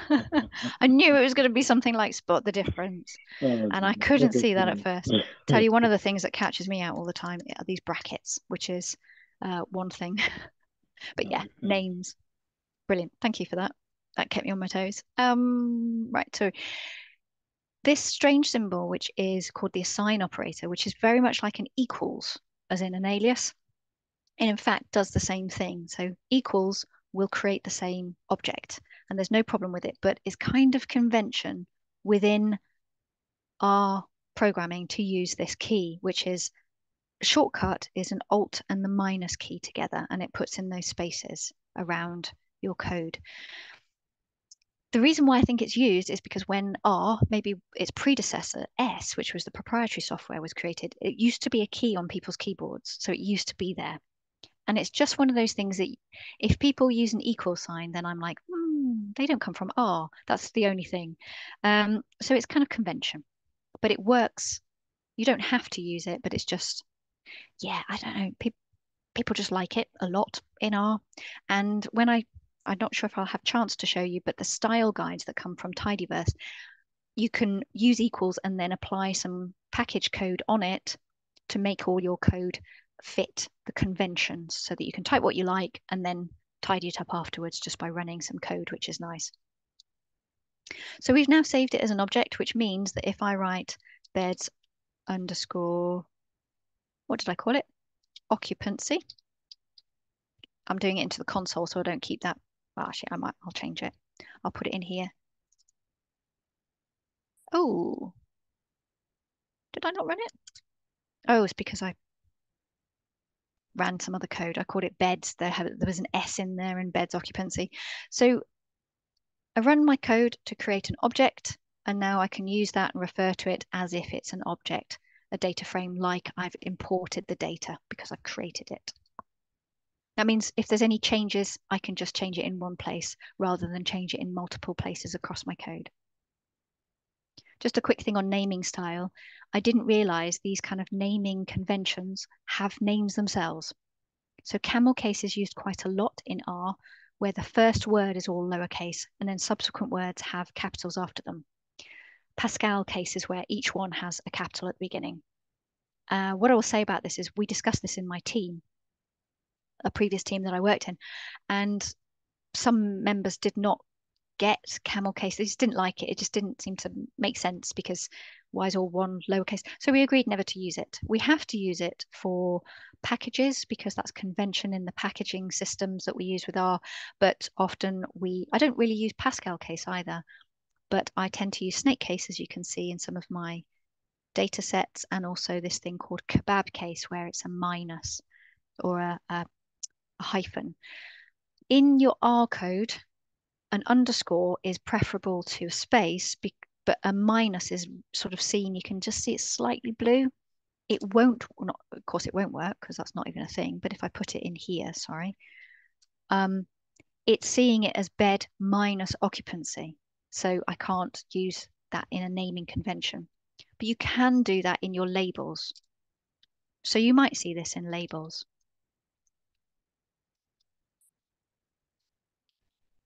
So it will be fine. It will just show like that and it won't break anything. So I have seen kebab case used a lot in R Markdown. I might see it a bit more in Quarto as examples come out, but the most well used in R is snake case. But I did see something about accessibility and how this is quite difficult when you use a screen reader because it says underscore and that can be quite tedious. So it might be that R eventually moves to say something like Pascal case to help screen readers. I don't know. But they've all got names. So the best idea is to be consistent um, and also to share and agree that with your team colleagues. So if they prefer one way and you all agree to use that, then stick to that. I'm not going to introduce vectors. I'm going to launch straight into joins. We used to have to call or, or refer to vectors uh, because the joins used to rely upon a particular thing in vectors. I would say it's really useful to go through that um, because vectors are really important to R. It's used a lot in R, but I'm going to show joins for today to because I'm just quite conscious of the time. There will be recordings of me talking about vectors and those sections in other courses, I'm sure. But just to introduce relational data, because it's really important for what we do, um, whether you're using SQL or some other things, Excel, you have that possibility of doing H lookups, V lookups. Uh, v lookups is the most common, and there's a new one with X lookup, where we join data together that's sort of like flat data, as they call it. So we've just been working on one data set.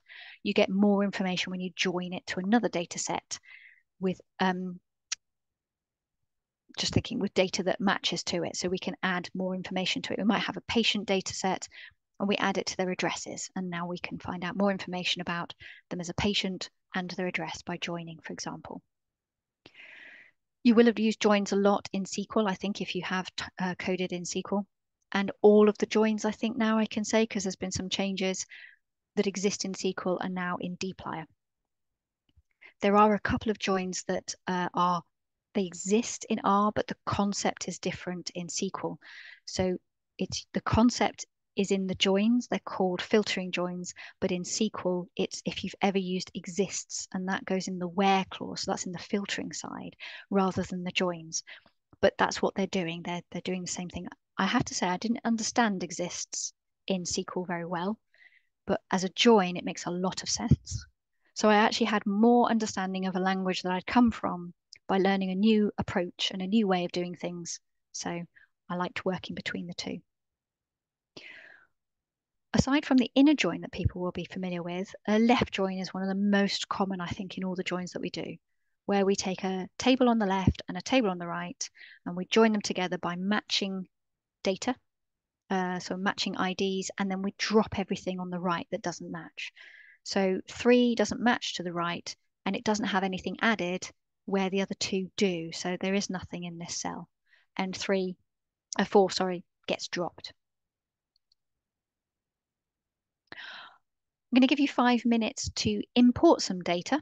And I want you to import data to work with these joins called TB. They all begin with TB underscore cases, new table, and pop. Just to give you a bit of quiet from me, um, now you can either write the code, which um, I'll find the code as I go along.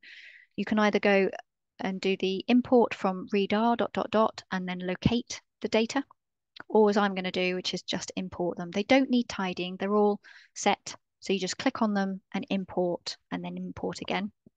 And I'll give you five minutes just to have a go and update those and I'll be doing it as well bringing them into your system.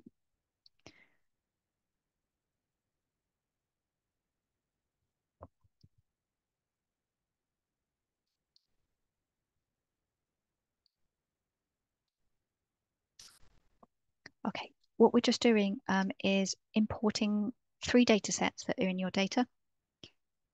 TB underscore cases. You don't need to do any changes with them. You can just click on them and then select import dataset. Uh, object creation. Let me just see. No, just introducing joins. I'm not sure how, and I'll, I'll give you the code to get the data in, and we haven't done any code yet for joins. So I'm just doing this.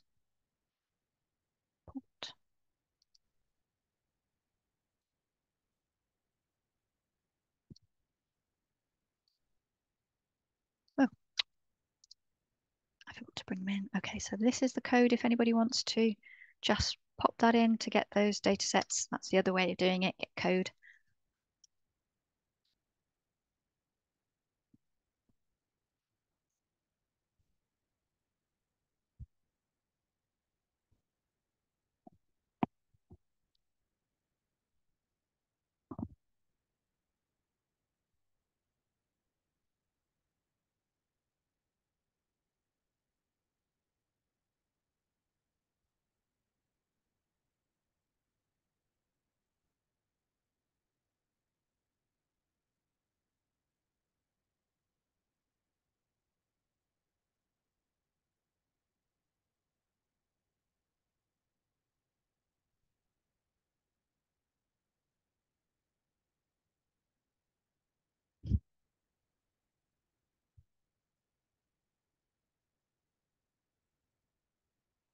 Okay, I've given five minutes, but I just want to see, has everybody got the three data sets imported, either using the code or practicing some of the imports? We've got thumbs up, two people.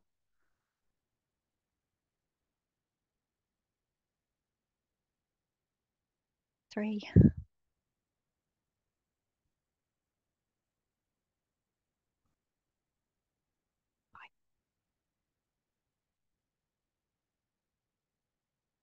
I don't want to race ahead if people are still working away on these things. It may be that people have stepped, it's very difficult because somebody might have stepped away from the computer, might be doing something else. Okay, I think what I'll do is move on um, and hopefully people can catch up if they are missing that bit. So the, the code is in the chat as well.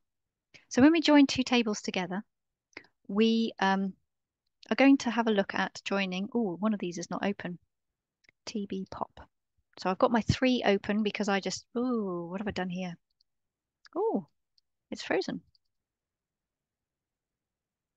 Sorry, I'm uh, losing control of my browser here. What's going on here? Ooh, right, I'm just gonna have to do F5.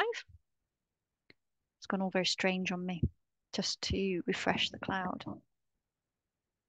what I was trying to show you is that I'd opened up the three TB tables and you can just click on them and then they do the view. But I also did that from the wizard. So that's why they're open. You can move them as well. So you can move them. We're going to use TB pop. So I'm going to put that first. No, we're not. We're doing cases and then pop so that they're next to each other just makes it easier to view. Go down to the bottom and try and do that R again to get a new um, chunk. So if I do TB underscore T, I'm not doing very well here at all. TB underscore cases, control and enter shows you the data that we get. That's the data set. It's all 16 lines. You get all of them shown. Or you can look at the data here. We've got country, year, and cases. If I want to join, Control Shift and M for a pipe does the next lead to the function, which is called left join from dplyr. And it's got the same name as a join in SQL, which is nice. So if I put TB underscore pop, and if I want to join to TB pop, we've got country, year, and pop. So I'm going to join in the first instance by equals country. So country has to be in quotation marks because it's a string and it's a big giveaway. It's like a, a big reveal. There are duplications in this because I actually have two columns that match in name. So I have country in both of them and I have year in both. But looking at the data this way, there's lots of indicators now as to why or how this is occurring. You don't get the same name in R when you do a join. It doesn't get repeated. So it doesn't say year in year. So it says year.x and year.y. That occurs automatically. So because they have two columns of the same name, they add in a little bit, or the, the program package adds in a little bit to change the name to define it. So it means that Afghanistan is repeated four times in 1999, matching this population in these four years from 1999 to 2002.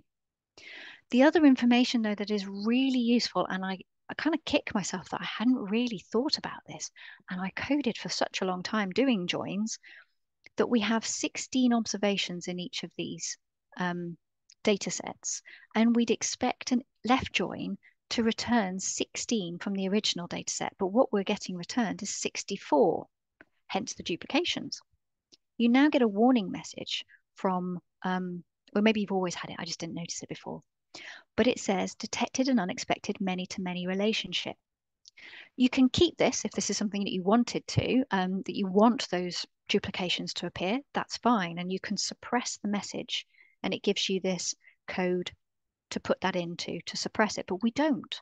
We want country and year to be joined to each other um, so that we can remove these duplications, duplicates, and so we can see all, all of our data. I have to get my, I want this to show two things. It wasn't really showing my two windows. So to do this, we need to tell it two columns to join onto. So in SQL, you would be very um, specific and say country, country, year, year, that kind of thing. And that's what we're following. This was the old way of doing it using a vector. And I'm not going to cover that today necessarily, but that's what it looks like. You'll see that in other people's code. The vector is often denoted by this C, meaning combine or concatenate, not concatenate in an Excel way, does the need to be dot by, not just by? So this is a different by. They're very well spotted. This is interesting that they haven't done that. Um, this is old now. So maybe that was something that they were thinking about doing. Maybe that's what introduced the issue to the previous one. So over time, maybe this became an issue. Um, it could, yep, I don't know why it doesn't have by. I was thinking that maybe there'd be an answer, but no, maybe it was missed. So the but the dot is just to differentiate it from columns. So it might have been missed on that previous occasion. It's been replaced now by its own function. My highlighting is a bit bold. And what I will do is if I write TB cases, control shift and M for the pipe, left join TB underscore pop and join by gets a prompt for the function in dplyr. So if you were to select that, that's all right. You can now write country and year. I'm putting them on two lines just so that you can see them clearly. They don't have to be in quotation marks and a closing bracket, which I was missing, which is what that cross was reminding me about. And now I get 16 rows returned with no warning about there being duplications or more being returned than you'd expect. So the function, the new function is quite good because it does mean that you don't need to list it out with the joins, you know, with the quotations. You don't have to do that. If you did, it still works. It's really good. It's very clever. But it's just an added couple of characters, so it's a bit more typing to do. And the reason why I really like joins in R is because you can be really lazy. So if you know that you've got the same column names, you've got NHS number to NHS number, for example, in this case, we do know, or you just wanted to check to see if they would match together with no input from you at all. You can just write TB cases, which is a left table, join to TB pop, and it does it for you. So I'll just share that code in the chat. And it's good to be explicit, but what this is nice for is that it gives you the code. And in fact, it does the by equals as well still. And I'd forgotten about that. So you can add that into your code and that will work. So it tells you what it's joined on. So you can be really lazy, take two tables, join them together, see what matches, and then be explicit about what you want it to match on if you didn't want it to match on all of them. Sorry, could you just go over that again? So are you saying in this case where you do the left join and don't specify what column you want both data sets to be joined by, R would work out which one has the most matches, join it, and then tell you what variable it joined it on. Yes, that's it perfectly. I would say dplyr is the only thing that is the specific thing to do that join.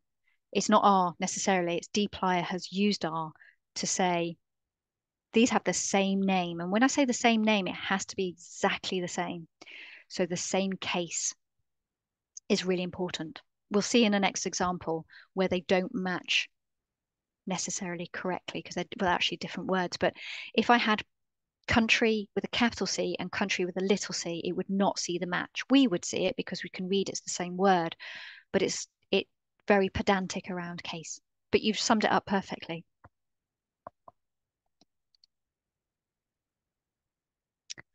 sometimes we have to join by different names. Um, I do need to change this slightly to emphasize that thing about case statement. But if we were to take TB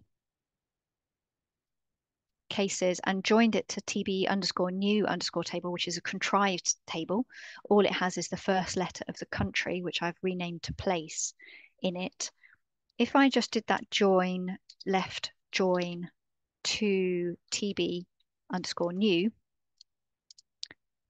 there are no common details in there. There's just nothing for it to join on.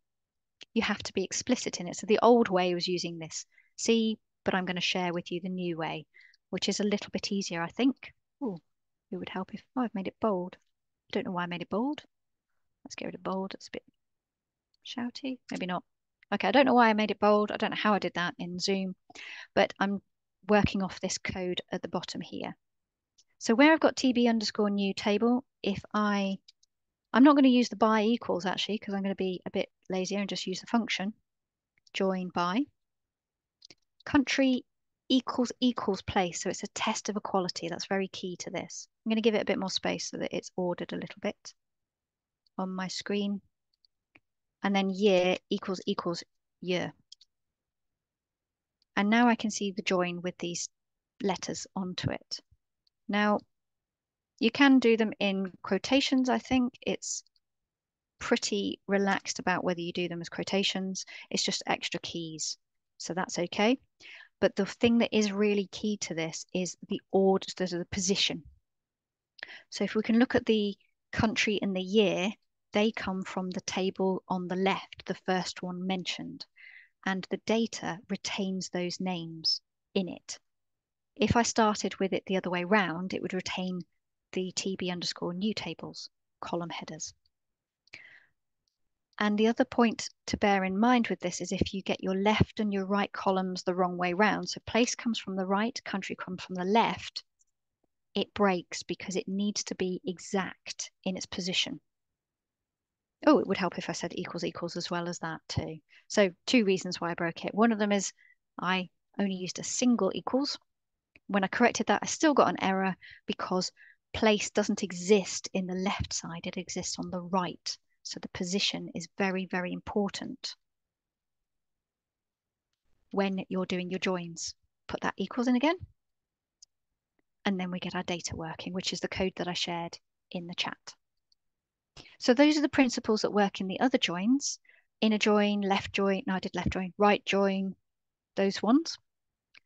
And a couple of them that I'll talk through, which are really useful. So I'm just going to highlight them to you. I'm not going to go through the examples because I want to go through some of the um, explore, exploratory help functions that we've got or help ways, ways of getting help. I'll get the words out eventually. Is if you ever use SQL, this is exists in the where clause. I don't know if this exists at all in Excel. I don't think this necessarily appears in XLOOKUP because XLOOKUP is based on SQL, I think and this isn't a join in SQL, but a semi-join will take your data off the left, and this GIF kind of shows it if, if you follow it. It looks like an inner join in that it drops those that don't match on the left and the right. But what is key to this is it's also dropping the Y information to it. So it's just saying, does it exist? That's where that exists comes in on the right. If it does, I'm just going to keep what's on my left. That's it. An example that was given quite early on, because I think this might have been in 2020 when I did these courses, hospital test cases were really important.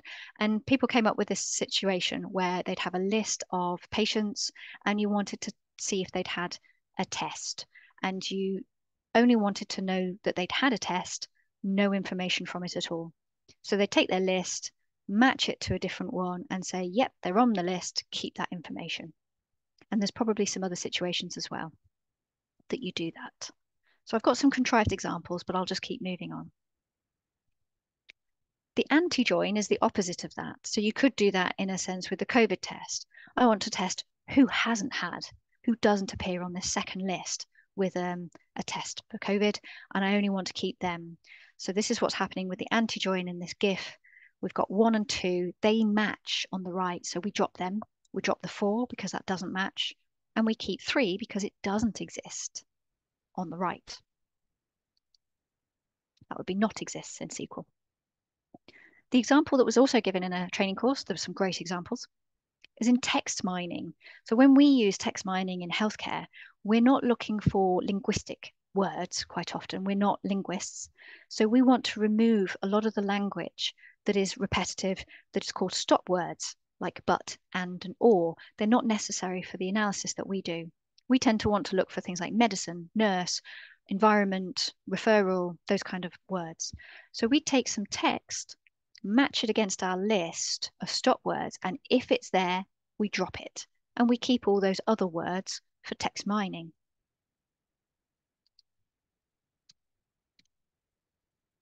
I've whizzed through those. So I would suggest going back to those sessions, or there's also some YouTube videos on it as well to go into more detail. And get in touch as well through the NHSR Slack group if you wanted to use any joins and wanted to understand them a bit more. I think what's really important is finding some help though, because there's various levels of finding help. Well, but before I do that, I'll just check that that's okay with the joins. You've been asking questions throughout, but just to just to double check. Everything seems okay. Okay. There's a lot of information that we've got around our packages, but it's, um, for example, we've used some functions um, and those functions have changed over time and they do other things. Uh, so it's just trying to find out, I've got this function. I want to know what it does. How do I find out some more about it? And one of the functions that's on this sheet is one that we haven't used, which is ggsave. So I think that one comes from the ggplot. So you build your plot and then you save that. And you can use this function to save it to your system. But the ones that we've used, for example, I'm going to look at summarize. So we've got this dot by in here, but what else does it do? How can we use it? Or mutate even. Actually, maybe if I look at mutate, that's kind of a clear one. If you put your cursor anywhere in your code script, or even if you, um, yeah, I'll just put it on the code script is probably the best way. and press F1 on your keyboard, it opens up the help file pane within RStudio in the bottom right, and it takes you directly to the function that you are wanting to look at. This has got the mutate information. And I have to say, there's a lot of information in here that's taken me a number of years to understand what it does. And it's not always that clear, I think, as you first start. So there's a few other things that can go into it, dot by, dot keep, dot before, and dot after. So they seem to have put a lot more dots into mutate than they have in the other functions. This has a bit of information about each of the things. Again, I'd probably still struggle. It's a level of knowledge that I've built up over time with R. But this can be useful where it tells you the badge. So this part of dot .by is actually in the experimental phase. As it's used a lot, people feed back at issues and errors and they get debugged, it may become stable. I think they've got different badges, um, and including one that's de deprecated, where they've they keep it, but they don't maintain it anymore. So it gives you that warning.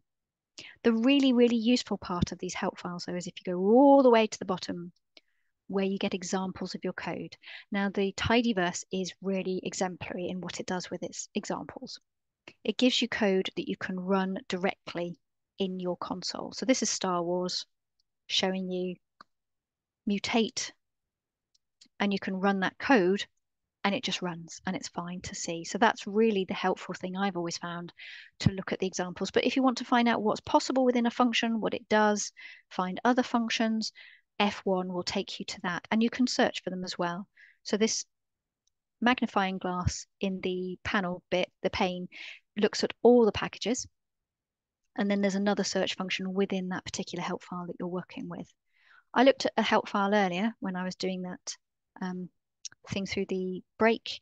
And so you can move between your previous views of things. So I looked at NA in base and looks like I looked at something else as well, didn't I? Not available, that's the last one. So you can flip between them. So you don't have to keep opening them each time. You can use that back and front, back and forth, I should say, not back and front. But you can also select from the console a function. Now there are different, you have to be careful of the different ways that you look for things. If you've got your package already loaded, which we have done with Tidyverse, if you do a question mark, and although we haven't done ggplot2, we've loaded it, if we wrote ggsave either here in the editor or down in the console, it opens up the particular help file relating to ggsave. But if we were to do that for something called beep, which is a function from the package beepr, it wouldn't find it because we haven't loaded it. It is available. So if I go to packages, uh, I think you might have done this actually when I first, because we had a few problems, didn't we? Oh, no, it isn't. It's not in this one. Sorry. Let's try again. I thought I'd installed it in this workspace. It's a very small package. beepr's there, and then go back and do beep. It still doesn't find it. So the function, if you don't have, not the function, if you don't have the package, I used install as the wizard and typed beepr quickly because it found, found it in CRAN and it's a really small package. It's not loaded though, and it won't work on the cloud because it doesn't have access to your sound card, but um, it doesn't find it because it needs to be lo loaded. But if you still wanted to find out what it was without loading it, you can write beepr, which is like the pathway, colon, colon, so the package, colon, colon, and then the function. If I do control and enter now, it finds the exact help file in the bottom right. Interestingly, also, if you do, as it said in this error, this sort of message here, it wasn't really an error, it's just a message. If you do question mark, question mark, it takes your search from local to global. And if you look for beep, you get various options, control and enter when I'm in the editor, because it matches on a few of the functions. It doesn't know necessarily which one you want, so you can select it that way. Any duplication of something like a question mark, or if you're on SQL and it's a hash and you're doing temporary tables, that makes it global if you do two hashes. And if you do a single hash or a single question mark, it's only looking at what you've loaded locally. These are all available when you're not online. So if you were, say, working away on a train with no Wi-Fi, you can find out help files as you're working along through your computer. But a lot of these are also repeated on the internet.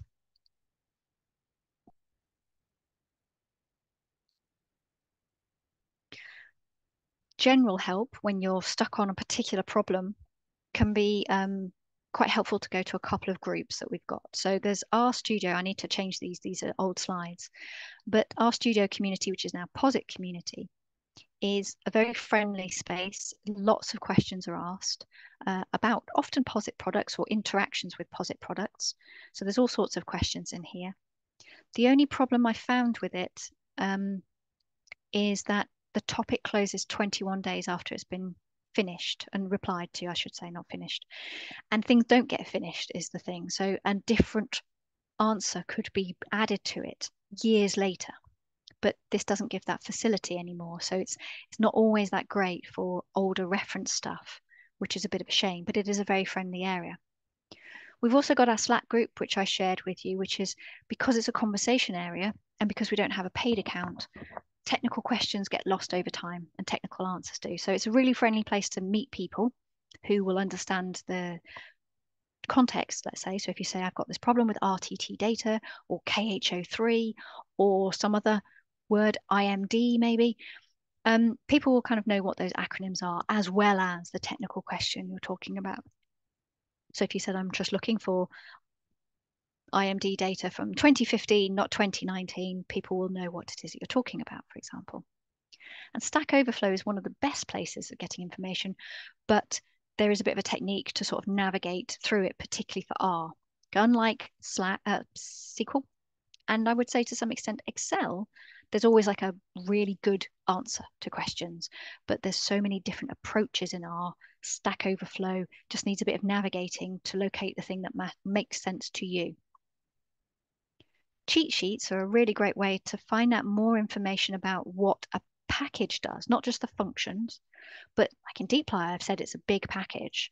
What's actually in it? And there are cheat sheets throughout the web here. So if I go to, I've got to find it now. forcats, dplyr, readr, there, dplyr. View the cheat sheet. We get information here. I was looking at, I've never seen it in that context. That's nice. The PDF is a quite a big document. And I think what people like to do is print it out or it gives you the idea of what you don't know, I suppose. It's like you know about grouped cases, but this is also giving you a bit more information about grouping them by row rather than by column. So it's a nice way of sort of highlighting new things to you as you're working. And in, oh, that's the wrong button. I was just clicked on RStudio, which is my own. I didn't mean to do that. In RStudio, in the help menu, there is cheat sheets. So you can find some of the as I was scrolling through and trying to find them, you can find them more directly through those cheat sheets and some links, and they take you to the internet, which is quite useful. And saving your script. This these are old slides which relate to the way the format of the previous courses, which we did before what you'll find actually in RStudio, which I've only just noticed, is if you haven't saved for a while, it, the title goes a bit uh, a different color, blue in my context with a star next to it. Now, if I press Control and S to save it, it then goes white, meaning it's been saved. So if I make any changes, like I put in a return key, it changes color. So that's a nice indicator, as well as the fact that you can save this as you would do in any other program like Microsoft, for example, save all, save, and other things. These two document, these two books, I don't think are free online anymore. And this is an old book for R for data science because these slides need to be updated. But I will share with you the new edition of Hadley Wickham's, and there's various pe other people actually who do this. Um, let's make it bigger. So the books that Hadley Wickham has written, and that includes things for Shiny, Advanced R, and R for Data Science, which is his most popular, I think, I would hasten to say. Um, they're all available free online, which is quite good so that they get updated, but it also means that you have access to it without having to necessarily buy it. It is available in paper. Uh, it's a big book, and some people have bought them and used them that way, that's fine.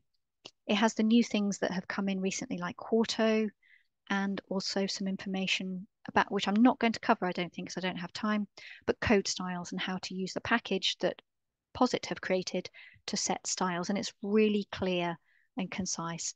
It's very nice. There are exercises in the book as well. And I just discovered that the answers are available by one of the authors is writing them after data science.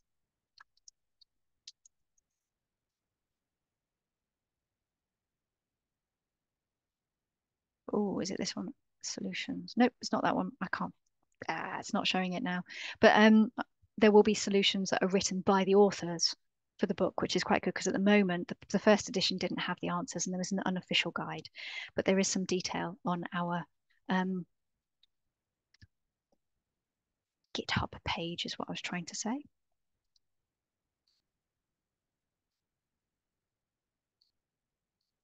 So a couple of other ongoing resources, particularly Stack Overflow, it's in a different slide deck.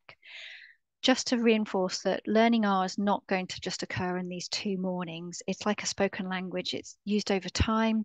Try and use it as much as you can. It can be really difficult though when you're already working in a language with a program that you need to get some work done quickly what i would say is although it says regular total immersion is it is the best way it can be hard to do what is a nice way of making it so it's easier is that you replicate what you've already done. So you kind of know what the response or the the result would be from whatever it is that you use. So if you already create charts in excel creating a chart in r is helpful. If you do statistics somebody uses stata try the statistics in R, and then you know that you got the right result when you can compare the two because you trust what you've done in Stata or SAS or SPSS is another common one, and then trying to see if you can replicate that in R. That can be really useful. My area was always about data manipulation. So tidying data, and then I try and compare the, the data tidying and the numbers and things like this between the data sets, whether I've used SQL or whether I used R. It takes time this says quick fix. I'm not so sure it's a quick fix, but this is kind of like the normal fix is Stack Overflow. There is a vocabulary that's required for it because um, what I would always say is if you're looking for dplyr questions, write dplyr in your search because it takes you to those particular areas. Because if you say, I want to group by multiple columns, which is one of the examples we'll look at, it will give you various options which relate to that, which may be in languages that you don't necessarily even recognize. And R is really difficult to search for because it's just a letter. But after a time of searching, Google picks up your preferences, I'm sure, because I get a lot of R things now. So if we look at this particular one, group by multiple columns, if you're not familiar with Stack Overflow, it's used by for lots of uh, technical problems or question technical programs and programming languages. And what's nice about it is that you get the history. This has been going for 11 years.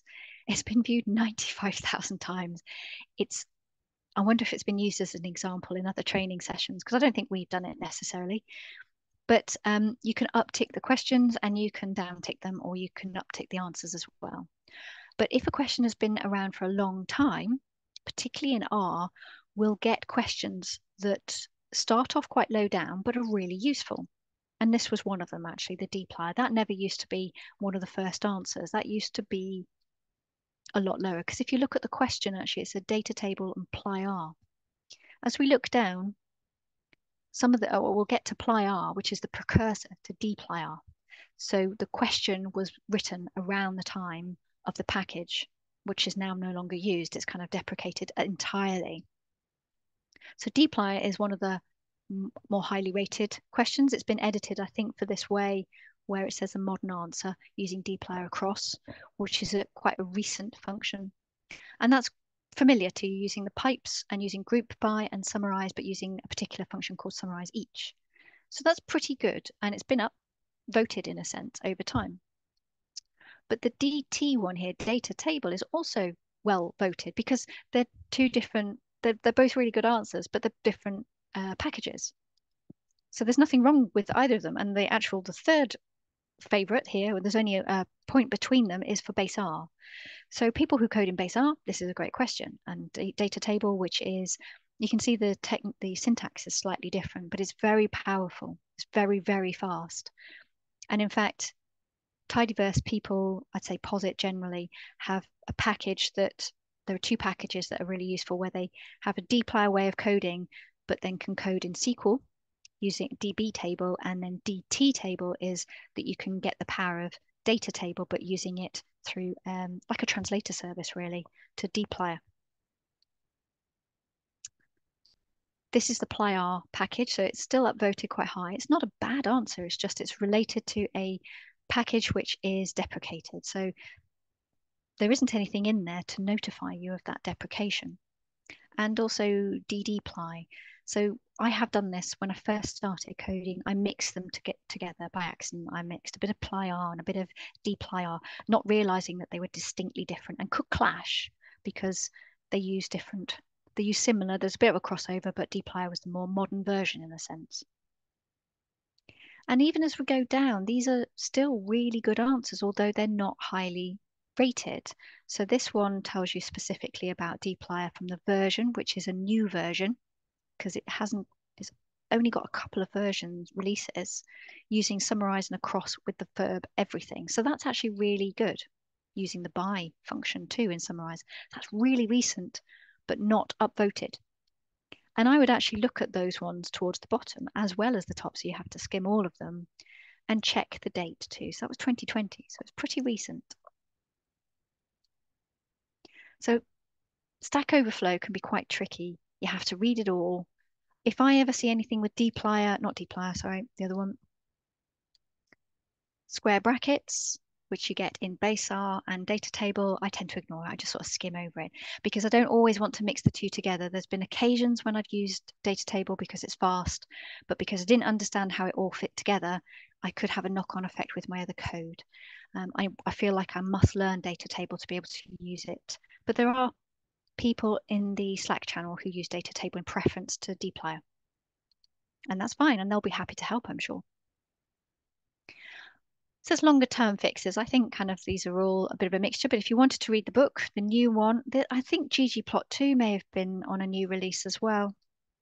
So they've both been updated. Plot book Hadley second edition. I'm not sure if that one's a new edition now. Maybe not. Nope, I think it's still the, the original. Oh, no, there we go. ggplot2. So they've all been updated, it seems. So that's ggplot2, and I'll give you Hadley Wickham's R for Data Science as well. They're really good books. Oh, this has got several authors, by the way. I shouldn't forget all the other authors. Garrett Grolemund and mine, I think it's mine. She is fabulous, uh, but I'm not entirely sure how to say her full name. But she is amazing at data science. Big Book of R is a project from somebody who came to talk at NHSR community a few years ago at the conference. He started off by trying to collect all the links that are possible within R. And as you can see, as I scroll down, not going to focus in on anything, there are hundreds by topics and by domain knowledge.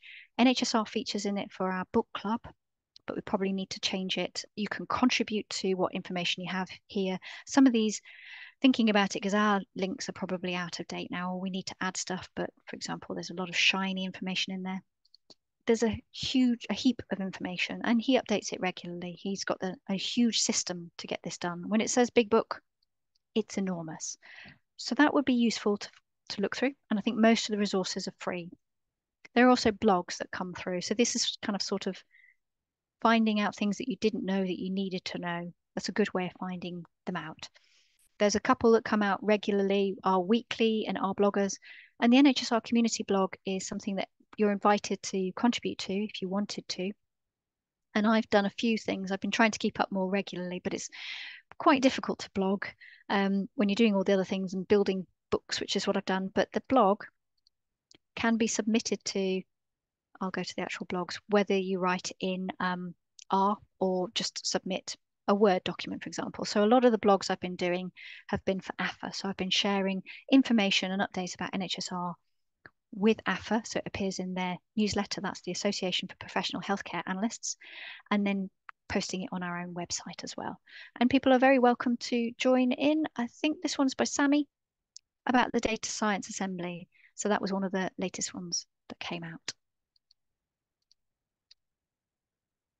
And I won't go into those ones. I will say that's the end of the finding help. Those slides need a bit of updating because a lot has changed recently. The slides I've been working from are on the GitHub. There are some other slides here that need a few bits of work I, I do, I need, uh, including the ggplot2, as I mentioned yesterday, but there's a couple more about data manipulation because there's so much that can be done with data. So strings, for example, looking for parts of your strings, all of your string, that kind of thing. There's a lot of work that you can do there. So those slides, no, I'm afraid you can't do any ggplot clothing today because it's only two mornings. The NHSR community volunteered normal course, I think people do cover it, um, but the slides are available to work through from the original slides actually, if you wanted to go through that. I particularly like to concentrate on data manipulation before the plots, but the course is also based on, for ggplot2, basic for particularly on Hadley Wickham's book too, or Hadley Wickham, Garrett and Mine's book on data visualization so that you can see your data early on. But a lot of people already see a lot of their data regularly because we're data analysts and data scientists or people who work with data. So cleaning the data is one of our key features of our work. So I don't cover that. I'm not going to cover that today because I didn't book in for three mornings. It's been a bit busy for the rest of the NHSR community conference and NHS PyCon too, because we have Python talks and workshops. I'm sure you've already seen a lot of our a lot of our events, so please do sign up to them um, if there's opportunity. So we've got talks coming up that are online, in person, and it'll also be streamed virtually talks in Birmingham on the 17th and 18th of October and other workshops that I hope also will go onto YouTube for catch up if you don't if you're not available on those days. I will wrap this up for the recording